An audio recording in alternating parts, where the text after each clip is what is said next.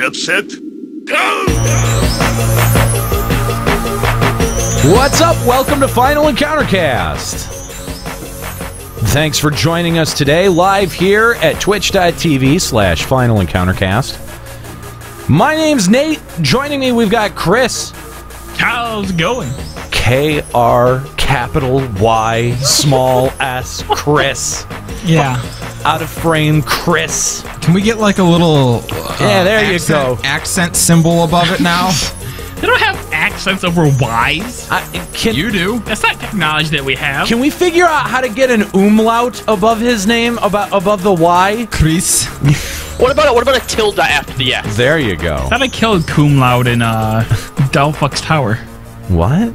Uh, okay. That that's a far-reaching eleven. I didn't even get that one. Wow, that one soared right over most people's heads. Anyway, thanks for joining us here at twitch.tv slash final encountercast. Uh, the best gaming talk show that you might find today, hopefully. That's talking it up. Man. Way to go, All right. Nate. All right, Yoshi. The Yay. best gaming talk show that you might find today. if Yeah, you if you don't qualifying that with uh, yeah, well, whatever. And if you don't find it, fuck you. Yeah, you non-podcast finding assholes.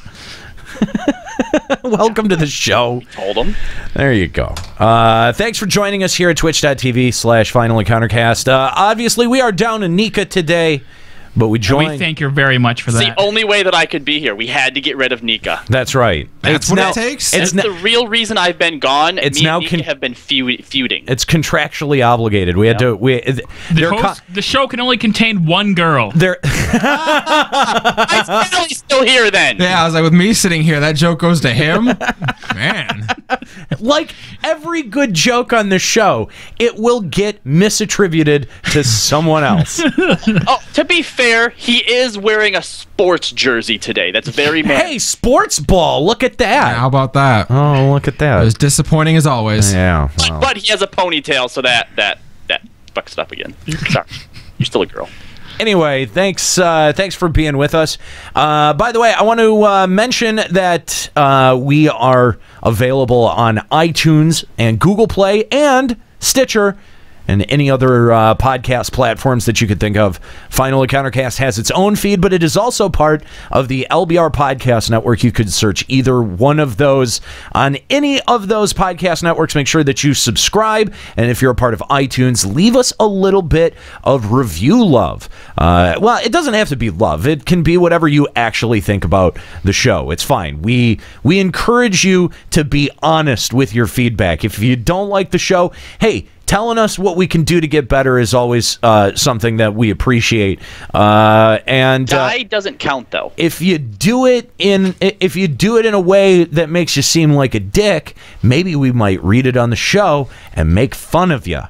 We, Because we do do that. Yeah, we we do done it. Uh, anyway, look at what happens. The girl, the girl doesn't show up to the show today, and it just goes off the rails. Yeah, I don't like that earlier today we had people just like guessing, is Nika on maternity leave? Ah. Like, That's the only reason girls can leave. That- That's That's- right. that's She's gonna immediately- love that. Yeah, oh, she'll be thrilled. Oh yeah, uh-huh. yeah. I like uh, that everyone's like, girls can wear jerseys too. Yeah. Yeah, misogyny. It's it's, it's funny, guys. That's that's what we do. Prove that women are equal to men. I'm serious. But Taking the Yu-Gi-Oh! bridge drops. By the way, yeah, we it. we've we've uh, we got a uh, new batch of drops today. If you Yeah. couldn't tell by uh, Limit Break Radio, You can tell Thank you, because you can tell because Chris has a spring in his step. yeah, he's excited to use them. He's been using them all day. I haven't heard. I don't think I've heard an old drop Yeah, We've I think it's all been new drops. They're really far away. It's like seven pages away. and this is why uh, we need to get new drop software. We do. Yeah, yeah, yeah. Uh, anyway, we are sponsored by Alamo City Comic Con, which, by the way, we will be out there. Well, I'll be out there. If you want to meet me, I'll be appearing out at Alamo City Comic Con October 28th through the 30th at the Henry B. Gonzalez Convention Center in San Antonio, Texas. But uh, it's not just going to be me. Some ex- uh, some other exciting guest announcements include Millie Bobby Brown, uh, who plays Eleven on Stranger Things, which that is a fantastic show. If you Finally haven't finished it. Oh, did you? Yeah. What did you did you like it? I did. I really liked it. The uh, the first night I did episodes one through four, and then I kind of touched it for for a few days, and I got back into it, and yeah, Nice. yeah, I was I was actually really, really impressed with it. Yeah, it, it's such a it's such a great series that calls back to uh, you know a lot of Just childhood in general. yeah childhood in general, but also you know the '80s. If you grew up in the '80s, you'll definitely have an affinity for Stranger Things. It it also throws if you're a big Stephen King fan, I think you'll get a lot out of Stranger Things. So got bullied a lot in high school or middle school, any school. Fair. I got bullied a lot. fair. Uh, you know, also if uh, if you're a fan of uh, D and D, I I think D and D plays a really big, really big role in this as well. So Millie Bobby Brown is going to be out there, uh, as well as uh, William Zabka, uh, also known as uh, Johnny of the Cobra Kai in Karate Kid. There's going to be a duo. The real Karate Kid. There's going to be a duo photo op with him and Ralph Macchio. So, uh, but and again, and I mentioned this on LBR, dude. Ralph Macchio did a pretty okay job at the uh, at the Don't ro- sell him short now. at the, at the roast of uh, of Rob Lowe. I mean, as well as Ralph Macchio can do. I, I like that Ralph Macchio has just accepted his place in the world. Well, it- yes, when you're Ralph Macchio, I don't think you have much choice. Uh, but also, Jason Faunt, uh, the Red Ranger of Power Rangers Time Force, is going to be out there. And uh, if you don't care about the new Power Rangers, Jason David Frank and Amy Jo Johnson will also be out there. Oh, the two best ones. Yeah, yeah. I, I, I'm I'm excited to be able to meet or have the chance to meet Amy Jo Johnson. Uh, so that's exciting. Uh, uh, tons of other really cool uh, celebrity guests are going to be out there, including. God, uh, you know everyone important from Doctor Who. Jason Mewes. Uh, Jason, Nobody? Jason Jason Mewes is going to be out there. Man. Uh, yeah, Purple Man. Uh, also, uh, uh, like most of the Daredevil cast is going to be out there as well. Lando going to be there? Yeah, yeah. Lando's going to be out there as well. I want to drink a 40 with uh, w- with Billy Dee Williams. I really, really want to get some Colt 45 and and just be able and I'm sure he's never heard that before no, either. I'm sure. Yeah, Sure yeah. no one's although, ever said that. although I'm sure you know, like I don't know, like that's a pretty dated reference. I'm not. Sh- yeah, uh, you know, You you're should get into a game right. of cards and like win his vehicle from him. Uh, anyway, uh, a lot of really cool people going to be appearing out at Alamo City Comic Con. So make sure you join us October 28th through the 30th. It's going to be a party at the Henry B. Gonzalez Convention Center in San Antonio, Texas. Uh, Sunny San Antonio, Texas. sunny San Antonio. yeah, I think it's weird that they're promising that the weather's going to be nice. Right? How can it's they just going to be like storming all yeah, weekend long. that's gutsy on their, call, on their part. Um, Uh, anyway, so something I really I wanted to touch on before we got into the news here today is uh, you know we've all been hard at work on a new project. We gave you guys a bit of a preview of it. The uh, uh, not the last episode, but the episode prior to that with our uh, esports gaming update. But you know this new show that we've been working on. Uh, you know it's really exciting to be able to do this and to to have the opportunity to be able to do that. But we want to remind you that even though we're given the opportunity to be able to develop new content with the possibility that it could succeed on a medium that's not necessarily podcasting that this show specifically final encountercast and its weekly schedule is supported by you the listeners. And that happens over at patreon.com slash limit break radio where we are currently sitting and I am so proud to say this at 191 patrons. That is a high watermark for the number of people giving to Limit Break Radio. Almost 200. But, but we are just shy of the $2,000 goal to keep this show weekly. We are currently sitting at $1,907. So we're going to need uh, some of you in the audience to step up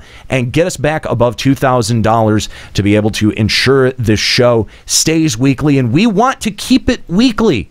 We love doing this show. Uh, but uh, we can only do it with your support.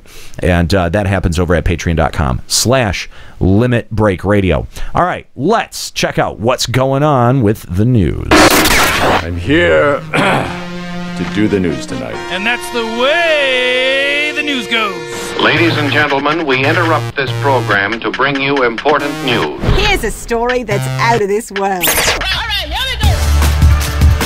Alrighty, well, let's start off in the world of Pokemon Go, where we saw a large update this week, including the release of the Buddy system. Players will now be able to walk with a Pokemon and generate candies in that fashion. You know, uh, I, I have you guys been enjoying the update? I've seen a lot of actually like small quality of life changes that came along with the update, not just the buddy system. But what do you guys think of the buddy system so far? Well, uh, one thing to mention is that how far you have to walk for a piece of candy is dependent on what kind of egg the Pokemon of comes out of. yeah. So if it's a uh, if it's a 2K egg, it's a kilometer. If it's a 5K egg, I believe it's three kilometers. If it's a 10K egg, it's five kilometers. So I think for things like starters, which you know, even even if you're hatching a lot of eggs, you not necessarily seeing a whole bunch of them, and when you do, you can only get like four candies out of it. I think it's great. Um, I know a lot of people who are looking for their Gyarados. Yeah. Super, super excited about it. But when it comes to something like Dratini's eh, or Snorlax, eh, well, you know, Snorlax is something that doesn't evolve. That's fine too, because you only need or or that you or don't see level. or that you don't see in the wild very often. I mean, things that that you have restricted access to their candy. But when you need a hundred, like let's say Dratini candies, like do you have any idea how many kilometers that's going to be for a hundred Dratini candies? Yeah, a long way. Yeah, it's a lot of work, but the thing is is that I mean if you're doing that and catching on a regular basis, I think that it's, you know, it's just it's all for the good. Um It's just been nice to be able to complete a bunch of evolutions that I was really close on, where I was only like a few candies away. First day it came out, I was able to get my Wigglytuff, and now I got my Arcanine. Nice. So thing, yeah, things like that have been nice. Just to like All right, complete out uh, those ones where I'm stuck at like 48 out of 50. apparently people are claiming that the egg does not determine it because apparently starters take three kilometers per egg. They So, do. That's true. don't know. My Charmander's 3K. Yeah, it's the eggs that do determine it, but then starters get thrown in the three kilometer per per candy. So they're they're the one fuck exception. Beca- well, yeah, because they're they're yeah, well they're highly popular. So I mean, of course they're going to be uh, throwing a little bit more work at you to be able to do that. But I mean, I've I've noticed a lot of uh, uh, like a lot of um, the, the the app does not freeze up. I I have to close the app, like force close the app. uh, Probably 80% less than I had to before the update. And I really appreciate that. And I have to wonder if that has something to do with Pokemon Go Plus, which is also the other major addition that we've seen to uh, to Pokemon Go this week. With that, it's that that sweet little uh, uh, like dongle. It's like a Bluetooth dongle that you connect up to your phone, and you can hit stops and catch Pokemon right from the bracelet. Has Um, anybody used it? Because I heard that early reviews for it weren't all that great. Nate just like saying, "Hey, look at my dongle."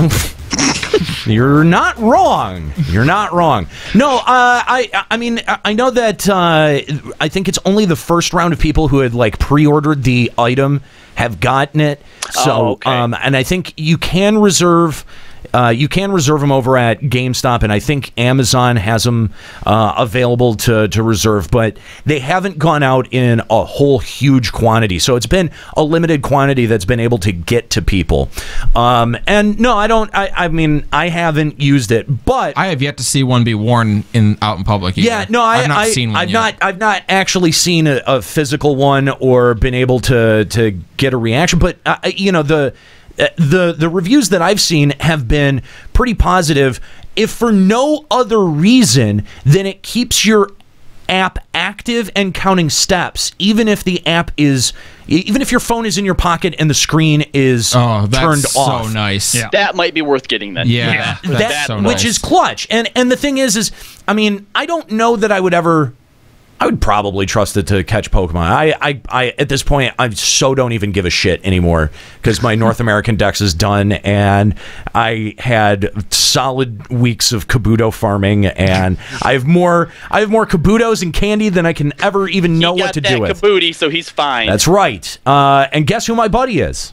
Is it is it Kabuto? It's not Kabuto, you dumb shit. Yeah, shit. what the fuck are Why you would you think about? it's Kabuto? You stupid asshole. It's of course Kabutops because I have five of them. Of course. Yes. My my apologies. You- you- I accept your apology. Anyway, uh, so yeah, no, I, I like the buddy system. Just getting additional candy is uh, is pretty good, um, and I, I really am looking forward to possibly getting a Pokemon Go Plus when they become more available. I think I think counting steps, even when the app isn't active, that's pretty clutch. Yeah. So those of you waiting for the Last Guardian to release, and oh, what a patient bunch you must be, will have to wait a little bit longer.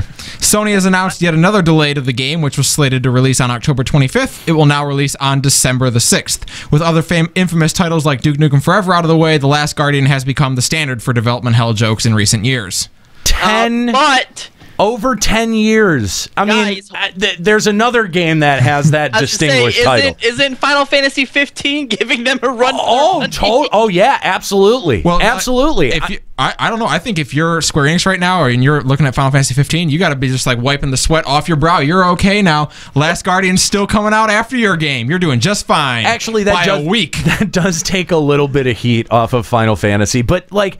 It really is confusing that yeah the, the release dates are getting pushed back, but they're getting pushed back these minuscule amount of time, and I, This it's one's What like are you a- accomplishing that small of a time frame? A month and a half. What, a lot. what are you doing? I, I mean, a lot of people have a lot of uh, of opinions because we've thrown that question out before, especially surrounding FF15.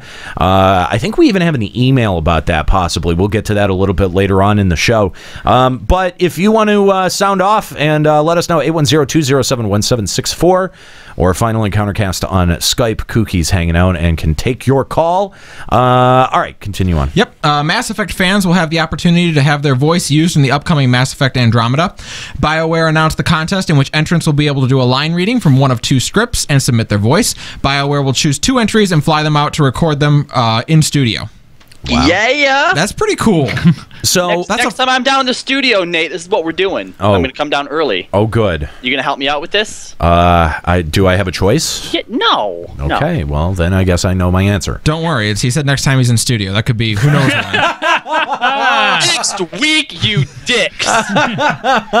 Come on, let's not make promises we don't intend to keep. That was a good one, uh, Chris. I, I enjoyed Oh. that. Yeah. yeah, that was that was a nice one. I try. Uh, so all right, okay, uh, Robbie, it has been a couple of weeks since we've uh, had you on the show, and uh, we did have that Mass Effect Andromeda trailer. What did you think of that? Well, it wasn't technically a trailer; it was gameplay footage. Oh, was it? This, this is what I think everyone has really, really been waiting for.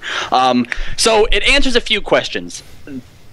Game looks magnificent, okay?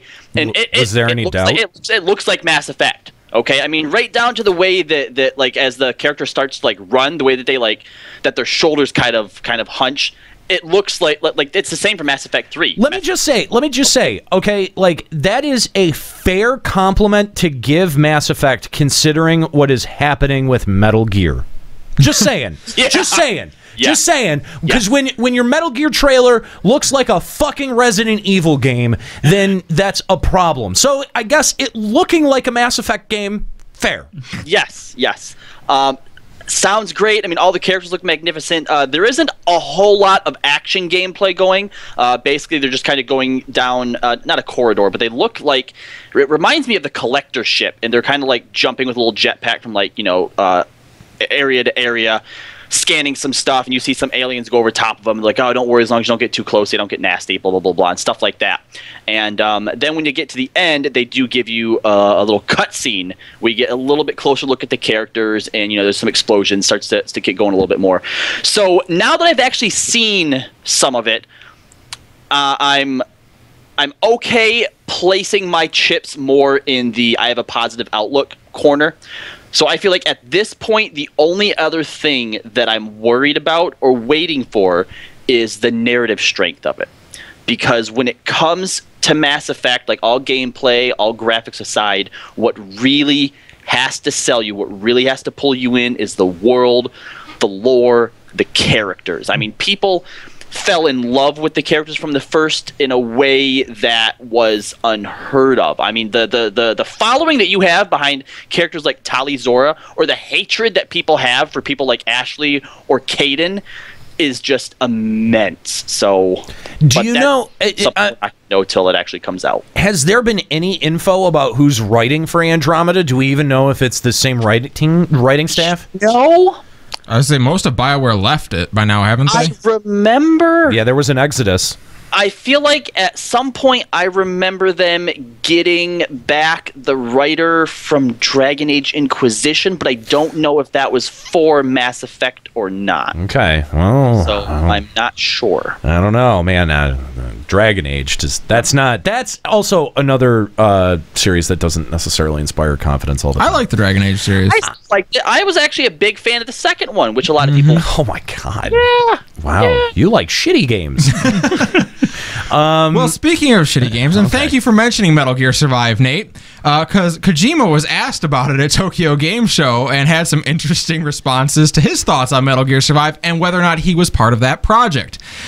he said, "quote That's nothing to do with me. The Metal Gear games are about political fiction and espionage. Where do zombies fit in with that?" Maybe they're zombie politicians. Uh, Wasn't there a girl who breathed through her skin in that series? Yes, there was. Yeah, I- I that's mean- about political f- fiction and espionage. You're That's right. Yes. Uh, he also added on, if I had worked on that game, it would have had mechs in it. We don't know. It might. Okay. Kojima. all right. Kojima, what are you doing? I don't think Kojima is giving this a fair a fair go. Okay. I want to see Kojima live stream it when it comes out.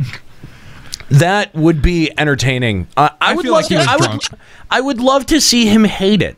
That would. At, at the end of it, he does because because didn't he tweet that that GIF of um Snake putting a gun to his head or something? or no, some- I think that was a parody account. Yeah, It yeah. was a somebody parody did. account. Yeah. I'd like to see him parry that like in his stream where he's just like, you know what, puts a gun to his head as he turns the stream off. Part of me, Oh my part of me, God. part of me wonders if this was a statement that he actually made, or if this was a parody account that that someone misread. Oh, that made the statement as well. yeah, it could be. I wonder that if he ha- was just drunk and they caught him in a moment where he wasn't ready to talk. Maybe I don't know. I mean, it's pretty interesting that. Uh, I, yeah, if I had been involved with the development, why that's would have it's a mechs sh- in it. Okay, all right, sure, You know what? He's weird enough that I believe that stuff he said, probably. Uh, maybe I don't know. You geeks are so gullible. We are. You're not Yeah. wrong. You're not wrong. So after 23 years with Blizzard, Chris Metzen has decided to retire from his position as vice president of story and franchise development. Dubbed the story guy, Metzen has overseen the lore for both Diablo and Warcraft. He broke the news with a letter to fans everywhere and says he is retiring, not pursuing other creative interests. He wanted to make that very clear. He's retiring. He's not starting up his own company or going somewhere else. Interesting. He said he Yeah. wants to go fat on his couch.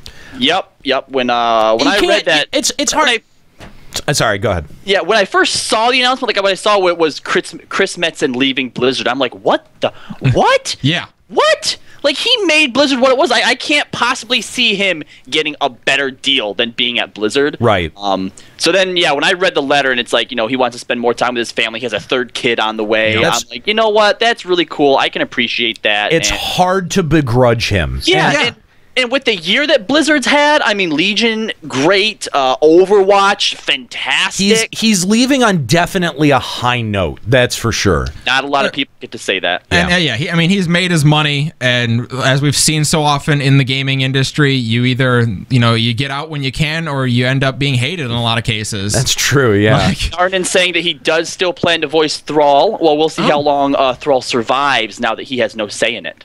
ah. fair enough. I, I just can't wait for a World of Warcraft story that doesn't involve corruption.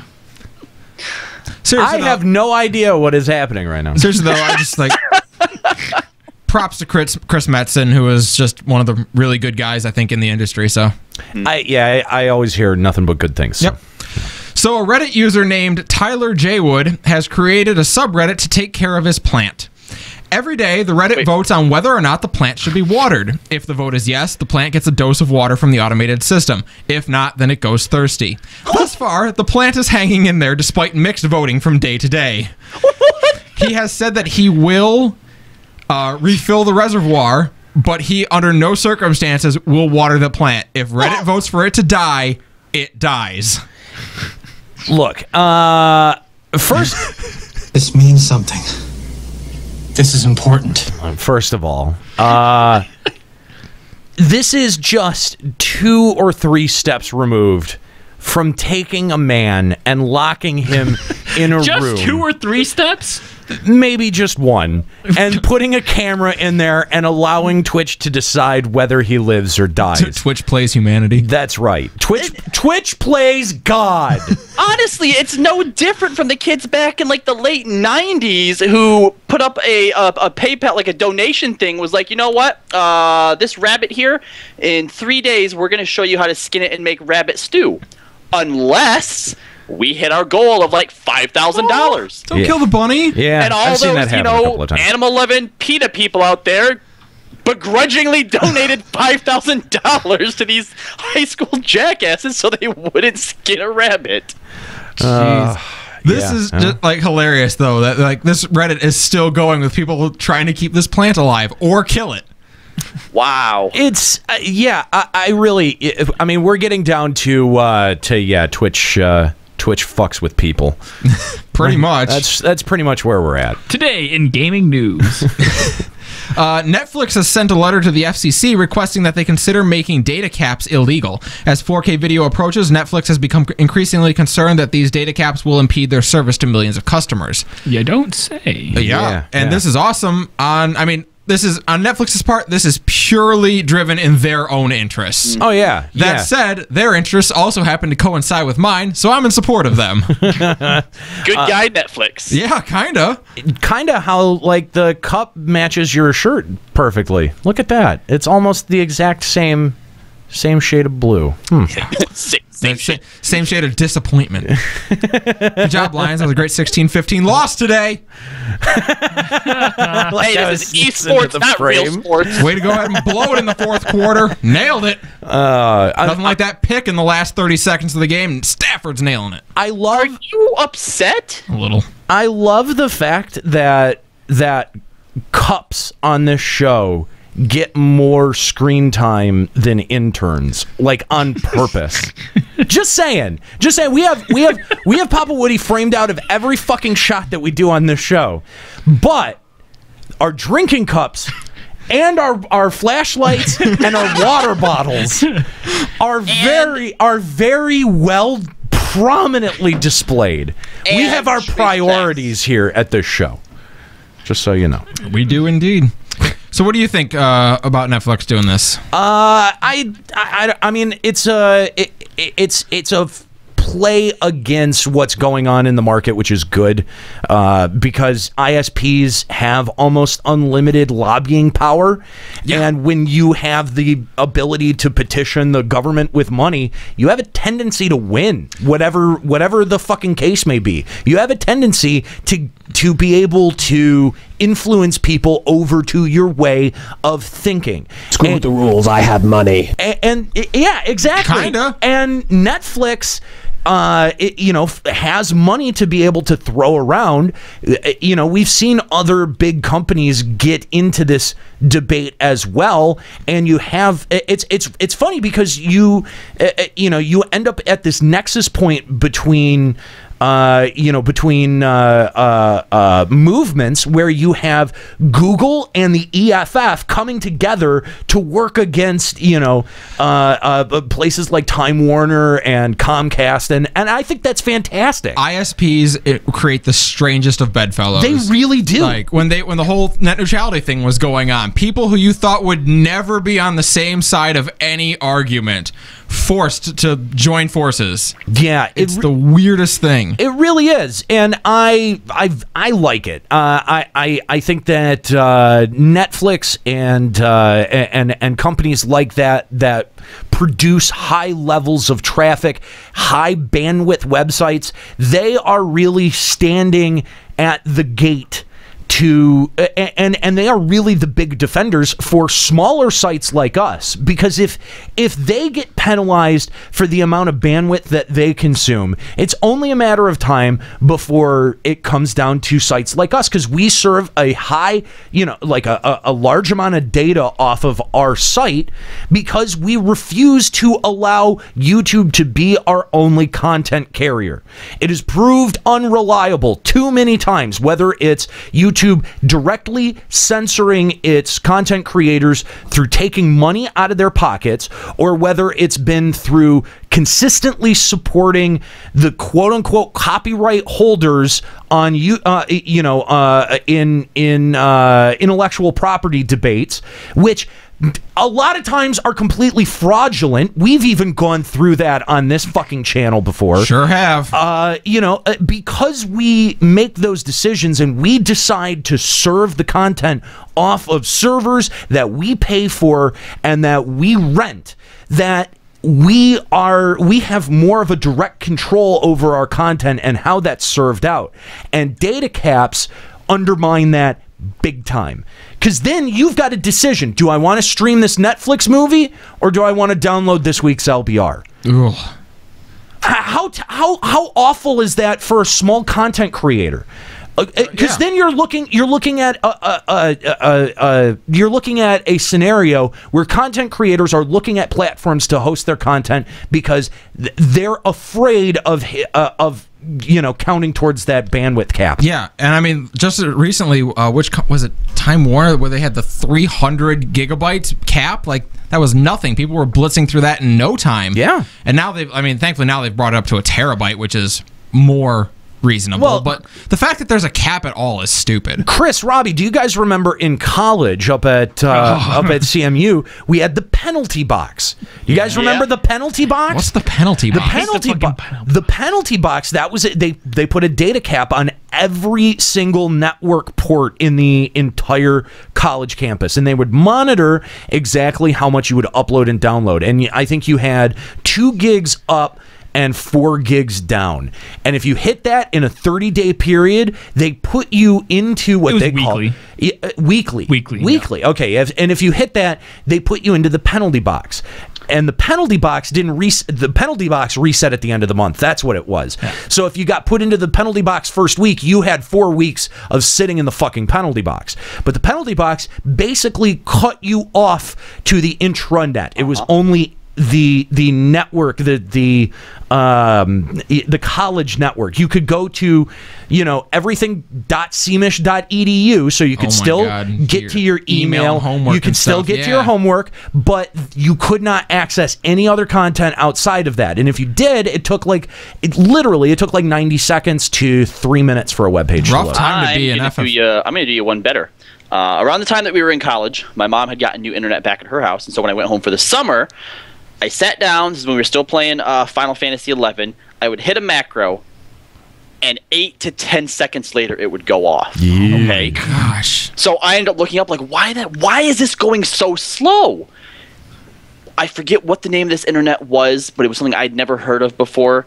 She had a five gigabyte monthly cap, and then it would cap her down to like dial-up speeds. Oh. I'm like, this isn't working. I'm going to stay with grandma for the summer. Yeah. it, it, it's, Mom, this isn't working out for me. It was like honest. So one, it, we had found ways to weasel around the penalty box. Like one of the ways, uh, f- f- the way that I had figured out was I had said, "Look, I run a podcast. It's a high media website, and I'm I'm doing you know." Three hour long uploads once a week and that's going to contribute to my overall cap. I need you you know you guys need to consider me for an exception. I'm i'm making something with the skills i'm making something with the skills that you're that i'm supposedly paying for Do you know who I am? it, it was a little bit like that yeah yeah Ask Jeeves me, bitch. i was i, I was this is- yeah, this is a good throwback. Oh my god, good callback. Uh, but yeah, no, it, it was it was a little bit like that, and and so I think eventually they gave me kind of special treatment. But before that, we had uh, all of the four guys in my dorm room had figured out how to switch MAC addresses.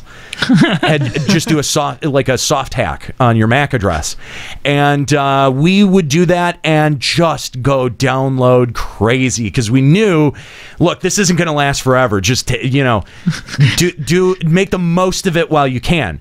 They eventually caught on to uh, onto us, and they they took the three guys off the network, didn't take me off the network, and fined all three of them hundred dollars. what? And I never got fined. Why not? I don't know. I don't know. And they never caught me. no idea. I have no explanation for that whatsoever. But yeah, that that actually happened, and I felt really bad. I ended. I think I ended up giving two of the guys who I got along with like fifty bucks, and because I felt bad for it. Uh-huh. But the other two, the other two guys that were total assholes, I was like, nah, fuck you. I'm not giving you any money.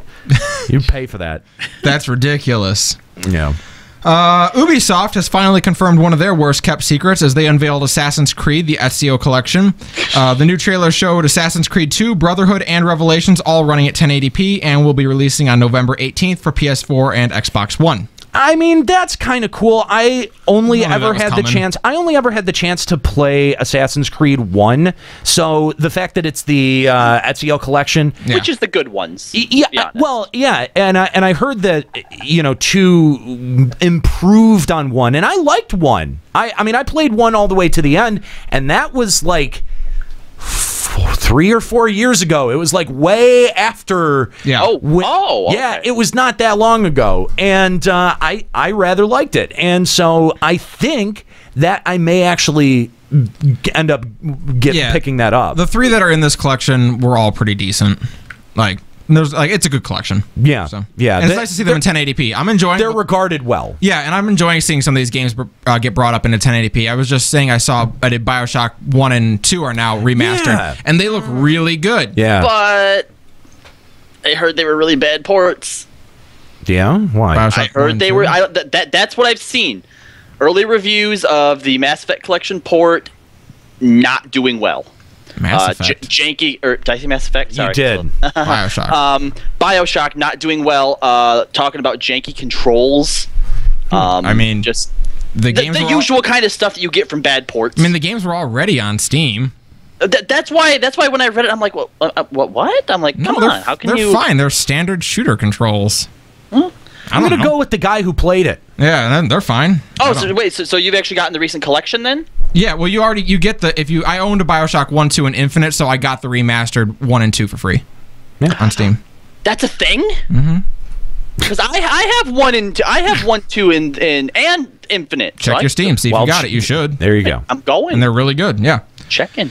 Uh, recent changes to the way Steam user reviews have created some, uh, to the way Steam user reviews are handled have created some concern as now only players who purchase the game through Steam will have their reviews factored into the game's score.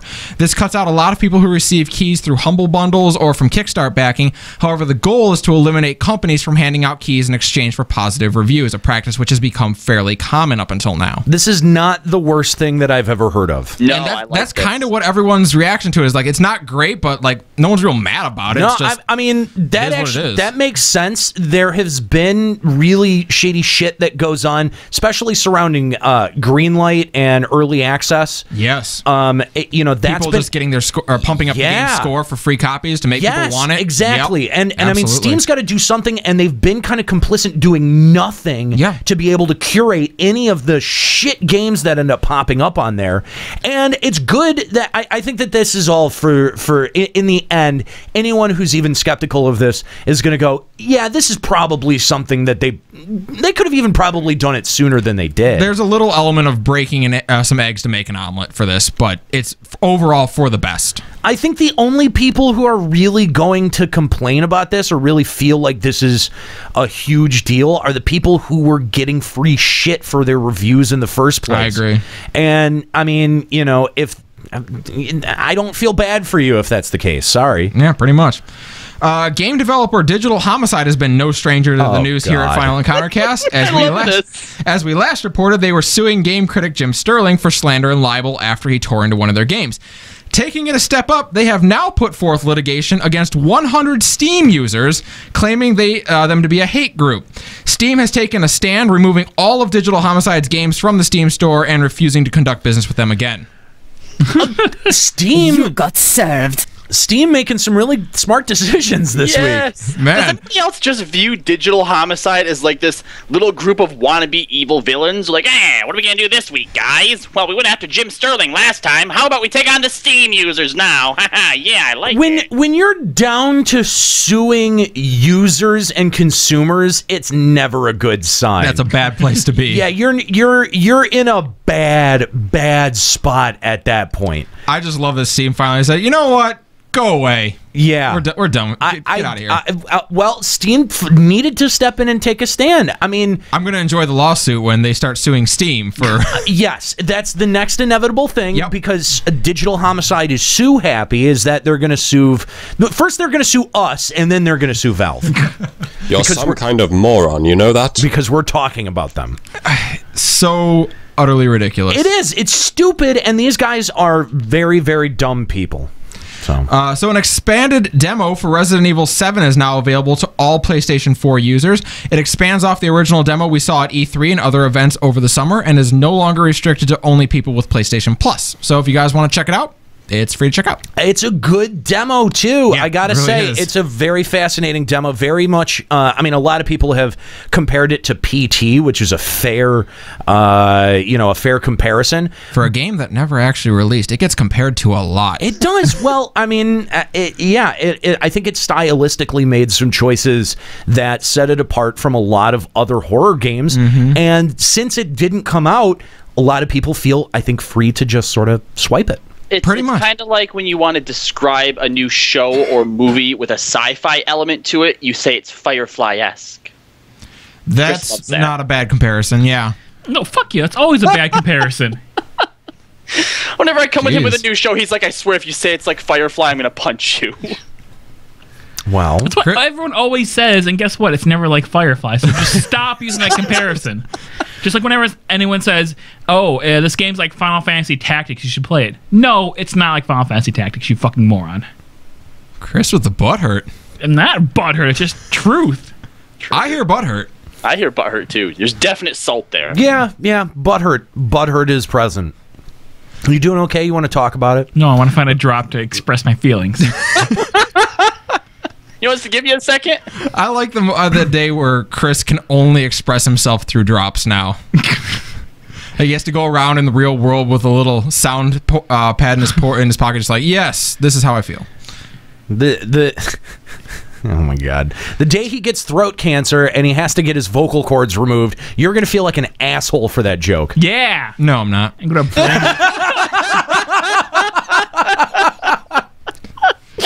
Uh, We got any more news? I'm gonna, t- Chris is like, I don't like all this making fun of me. Let's continue. I'm gonna the tell show. him it's very ironic, just like Firefly that was. was your fucking that was the drop you went with. That was after all of that build up and setup, that was the one you picked. Uh, you're terrible at this. Back over to the desk of games being wrong turned into movies. Capcom has officially confirmed a Monster Hunting Hunter movie is in the works. God, Details remain scant, but the film is currently in pre-production. Is this even a, s- a game series that would make for a good movie? Hold on though. Hold on though. It's live action, right?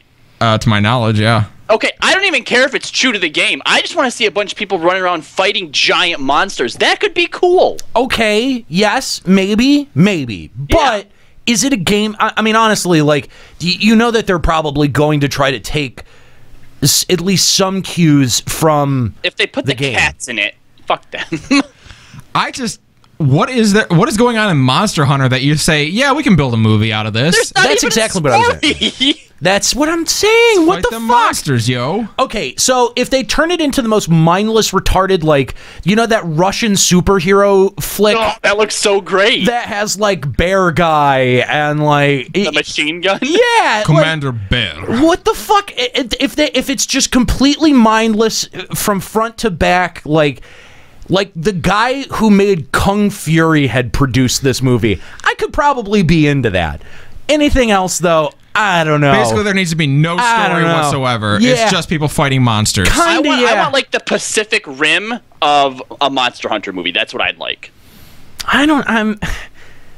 I don't want any. I want. Oh, let's go no dialogue. Let's just no. Like they don't even. No one needs to say anything. It's just that much action. That's artsy. I like it. There's there's yeah, like it's a stylistic choice, right? Yeah, like it's not it's not like like the movie slows down and allows you like uh, uh, like you even catch the fact that there's a stylistic choice, right? The movie opens with an explosion and it closes with a bigger explosion. okay, it's the only thing that happens is actually Dialogue would sound out of place in the movie because too many things are happening at once. It's the oh only way that only way that Constant movie's good. explosion. Better yet, there's dialogue, but the explosions are so loud you can't hear it. Nate, they need to sign you on to this movie. I am. I'm into this idea. Look, I'm ready. I I've I am just made of ideas. Okay, if Hollywood comes knocking, I can just I can make you infinite money. It sounds really great, Nathan Bay. what? Woof. Okay. Michael Bay, Nathan Bay. Uh, Yeah, but it wasn't funny. Yeah, but see, again, Michael Bay puts dialogue in his movies where there really shouldn't he be. also Are you gonna have lots lens of explosions. Yeah, but not. It- Look, he needs. t- if he took out all of the dialogue and replaced it with people breathing and talking explosions, then maybe they would start to get towards good movies. But until then, I just don't see the point. What's your stance on lens flare? Are you gonna have a lot of that? Uh, look, I, You got filter power. Use it.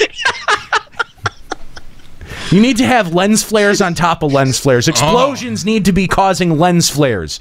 The, there needs to be so many explosions that the sun pales in comparison to the brightness of the explosions, and those explosions cause lens flares. It's gonna be a great movie. It's a fucking perfect movie. It's gonna honestly, honest to God, if people are thinking about voting for Donald Trump, then this movie would make a million dollars. Right. One million. Stoner's That's it. of choice. That's it. One million. That's it. Just the saying. Bender Even. effect. That's what it. Yeah, that's yeah, yeah. Yeah, right. even one- I exactly. it. Uh, and maybe my favorite news I have ever reported on a booth at the Tokyo Game Show had to impose tighter restrictions on its visitors. The booth, which had a mannequin which could interface with a VR headset to create a physical person, was subject to constant boob groping by patrons. Managers of the event had to request M2 Corporation not to allow visitors to feel up their mannequins anymore. So wait, hang on, hang on, hang on, hang on. Yeah, This this happened at Tokyo Game Show, right? That's correct. Okay, so this is the same country where you can buy schoolgirls' panties out of vending machines. I don't think that's still a thing, but it was, yes. okay. Uh, they still have cafes with mirrors on the on the floor. Yep, they do Where have you that. can, yeah, and the, the waitresses don't wear panties. Stop. I, I mean, Stop. you can only get so hard. Stop. No. Wrong. Threw up in my mouth a little bit. So, um, yeah. This, it, it, it, look. Where do they Why draw are the you s- line? Like it's such a weird line to draw. Why would the event organizers be even remotely surprised that this is what happened? Yeah, basically, it was this mannequin that they were projecting an anime girl on top of, and people kept groping her boobs and feeling her up. And apparently, people were getting really out there. Of the game though. Someone actually, I I think it was more of a demonstration of the technology of being able to place a uh, a VR representation over a physical object. then why would you do it with an anime girl? Because Unless it's Japan. Want people to grope. Yeah. I'm sorry. There are entire games where that's the premise of the fucking game. Yeah. Where uh, you take the stylus and hey, I can make her boobs jiggle. Haha. It's like for once in this entire industry's history, someone actually finally stopped and was like, "Oh, should we have done that?" apparently, a guy. we need to sh- we need to shut this down now. apparently, a guy was quoted saying, "This is so exciting. Soon I'll be able to fall in love with a virtual girl." And it's just like, oh my god, stop. It's like trying to. De- it's like trying to defend Balmung. It's just hard sometimes. Oh, Belmont I is don't hard like that all the joke. time. I don't like that joke. phrasing, joke. phrasing, phrasing, phrasing, phrasing. God damn it! Do you want Don't want to. No, I want to think about Balmung being hard collectively. Jeez. Gross. Phrasing. Thank you. There you go. Page one. Wow. So far away. We d- this highlights more reason than ever we need to get new drop software. This is terrible. Going back to page 38. You of course. You need to organize these things better. So, also out at the Tokyo Game Show, we got a look at the official trailer for the HD remaster of Final Fantasy XII, and I believe we're going to check that out now. Sure. let's- Hopefully, we don't get our video flagged. There we go. Uh, we probably will. That happens. That seems to happen a lot. Does Square Enix know? I don't know. Square Enix can be cool about it. In the faraway realm of Ivalice. So it's not the 14 division of Square Enix. We might be whitelisted, although maybe not Final Encounter Cast. I don't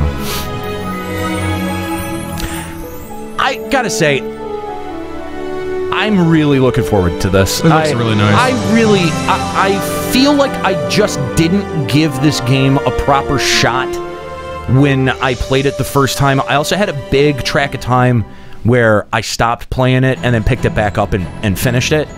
And I really do. I'm, I'm excited to give it a second shot. Yeah. Well, you know what I actually realized was it for me. Like, like I realized, I think what immediately set me on the defensive against this game is this was the first Final Fantasy game that didn't have turn-based combat Sure. Yeah. Well, and and I or, think or random encounters for that matter. that too. That too. Um, and What about you know, Final Fantasy 11, bro? I think. Well, it, th- th- that's the thing though is that when you play 12, you do catch hints of 11, and you do sort of see the underpinnings at work for what they, you know, it, it- it's it's widely known that the Gambit system is one of the things that is the underpinnings for 14. So you do, I think you see a lot of those, you know, kind of concepts being worked out in 12. Yeah. And they hold together very well. I remember seeing 12 we played and just thinking, like, God, I wish I could do some of these macro setups in 11. And and I think you're right, Robbie. I think you actually touched on something there that at the time when 12 had come out, I think all I wanted was the game to be another like 10. You know what I mean? Like I I wanted the turn based. I wanted all of that stuff back. was the first time that the story like there wasn't a like like main anta- or protagonist you know Yeah. like cloud squall zidane and, and Rinoa like like Sure. everyone was sort of like like in it you know so i feel like they tried or, or well, they obviously succeeded, but they, they changed too much about their formula at once. Mm. And at least for me, and it seems for you as well, that was weird. Well, definitely coming out of a like I, I've been playing a lot of 11. I was looking forward to when 12 came out for a okay. Now I just get to go back to what I'm used to with Final Fantasy. 11 is my big Yeah, step yeah, outside okay, the box. yes, I can now I want to go back to my comfort zone a little Sure. bit with 12, and I'm like, whoa, this is not at all. To Chris's criticism would be, yeah, because with something like 11, which was the first online game, you were willing to give it a little bit of wiggle room because it was something completely different. Yeah, I, and and and the thing is, is I'd like to. I, I'm excited to go back to it to play it again. Now, in in retrospect, given that I've been able to find so much enjoyment in both 11 and 14, and that you know, like if it was 13 being remastered, I could give a shit. But 12, 12, it, it existed in this really interesting, uh, this really interesting you know, uh, evolution time for the series, where th- it really was their first time getting away from a very standard, tried, true formula. And I don't know, like, it, it, part of me feels like, like, you know, getting rid of that definitely lost something from the series, but the adventures, the adventurous spirit to say, you know, we're going to break with convention and try something new. I think that is essential to Final Fantasy because th- something does change about the game every mm-hmm. single time. And I definitely think that now that we're so far removed from the days of 7 through 10, I think we'll approach 12 more open I think you're right. I think That's you're actually absolutely right. yes, a very interesting comment because I've noticed going back and playing even the ones that that I loved, you know, Final Fantasy 9, Final Fantasy 7, I'm realizing things or remembering things about the game or, or just seeing stuff that at the age that I played it never would have came across to me. You wouldn't be able to. You didn't have the maturity to appreciate yeah, yeah, it. Or, or, or, or just something. So even even I, I'm I'm perfectly aware that going back and playing this game, I, I could love it, right? But now there could also be some other underlying factor that jumps out at me even more that I would have completely missed before. So yeah, I'm I'm really looking forward to playing it too. It's also the Zodiac version, the, the Yes. which which is, uh, from what I understand, the superior, the definitive Mm-hmm. superior version. And I'm also excited to play that version because we never, I mean, I never really got the chance to play it. Uh, you know, when Our, uh, our friend Norris had mentioned to us once, which, which I didn't know this. Uh, Nate, you didn't. We'll see if, if Chris or, or, or Joe, I think you were you left by this point. But apparently, in that game, in the original one that we got, the weapons that each character starts with, that's their worst weapon. So if you keep Balthier using guns throughout the entire game, that's like the nerfed version of him. Isn't that weird? Did anybody know that? I definitely didn't know that. It's because they have the uh, special animation or whatever, and they attack like 0.1 second slower than if they have a normal weapon. Interesting. Yeah, he mentioned that, and it was almost one of those things where I wanted to call him. I'd be like, "That's not true," but I, Yeah, then I, call him out on it. Be like, prove it. but I, wasn't I don't sure. know. I'm like, maybe. I, yeah, I don't, I, I don't know. And again, it's been so long since I've even, you know, tried to investigate something like that. Yeah. Uh, so yeah, I, I don't. Again, I'm just, I'm excited to be able to go back and play it, but.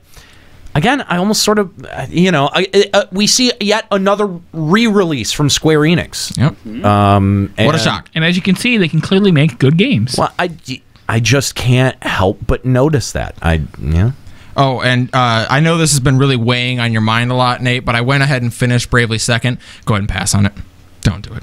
It's Oh, so I can, so just del- just go ahead and delete it off my uh, SD card. Go ahead. You're not like it was okay, but you're not gonna like it. I promise. You're not gonna enjoy it. That's too bad. Yeah, I know. Prove him wrong, Nate. Yeah, go ahead and finish it up. Let me know what you think. Yeah, I, that's the thing is that I don't think I'm actually like uh, I'm I'm jonesing for that style. Uh, you know, like a- after a while, I really start to itch for a classic Final Fantasy game, and and Bravely Default scratched that itch. But I don't know. I, I haven't had that itch in a while. Like I, I, I, I, it's not that I've moved on by any It's means. that you're it's playing just Pokemon. yeah, I'm playing Pokemon. I mean, I haven't. To be fair, I haven't had the itch. It's funny. I, I say I haven't had the itch, and then my ass immediately starts itching. what is what's with that? oh yeah. Uh, but I haven't had the itch to play Metal Gear either in a while. So You're waiting for Survive. Yeah. Yeah, all that's know what it. it is. You We all know gotta it. survive. oh yeah. Um. So I I, I don't know. I, I'm not sure what that is. It may be.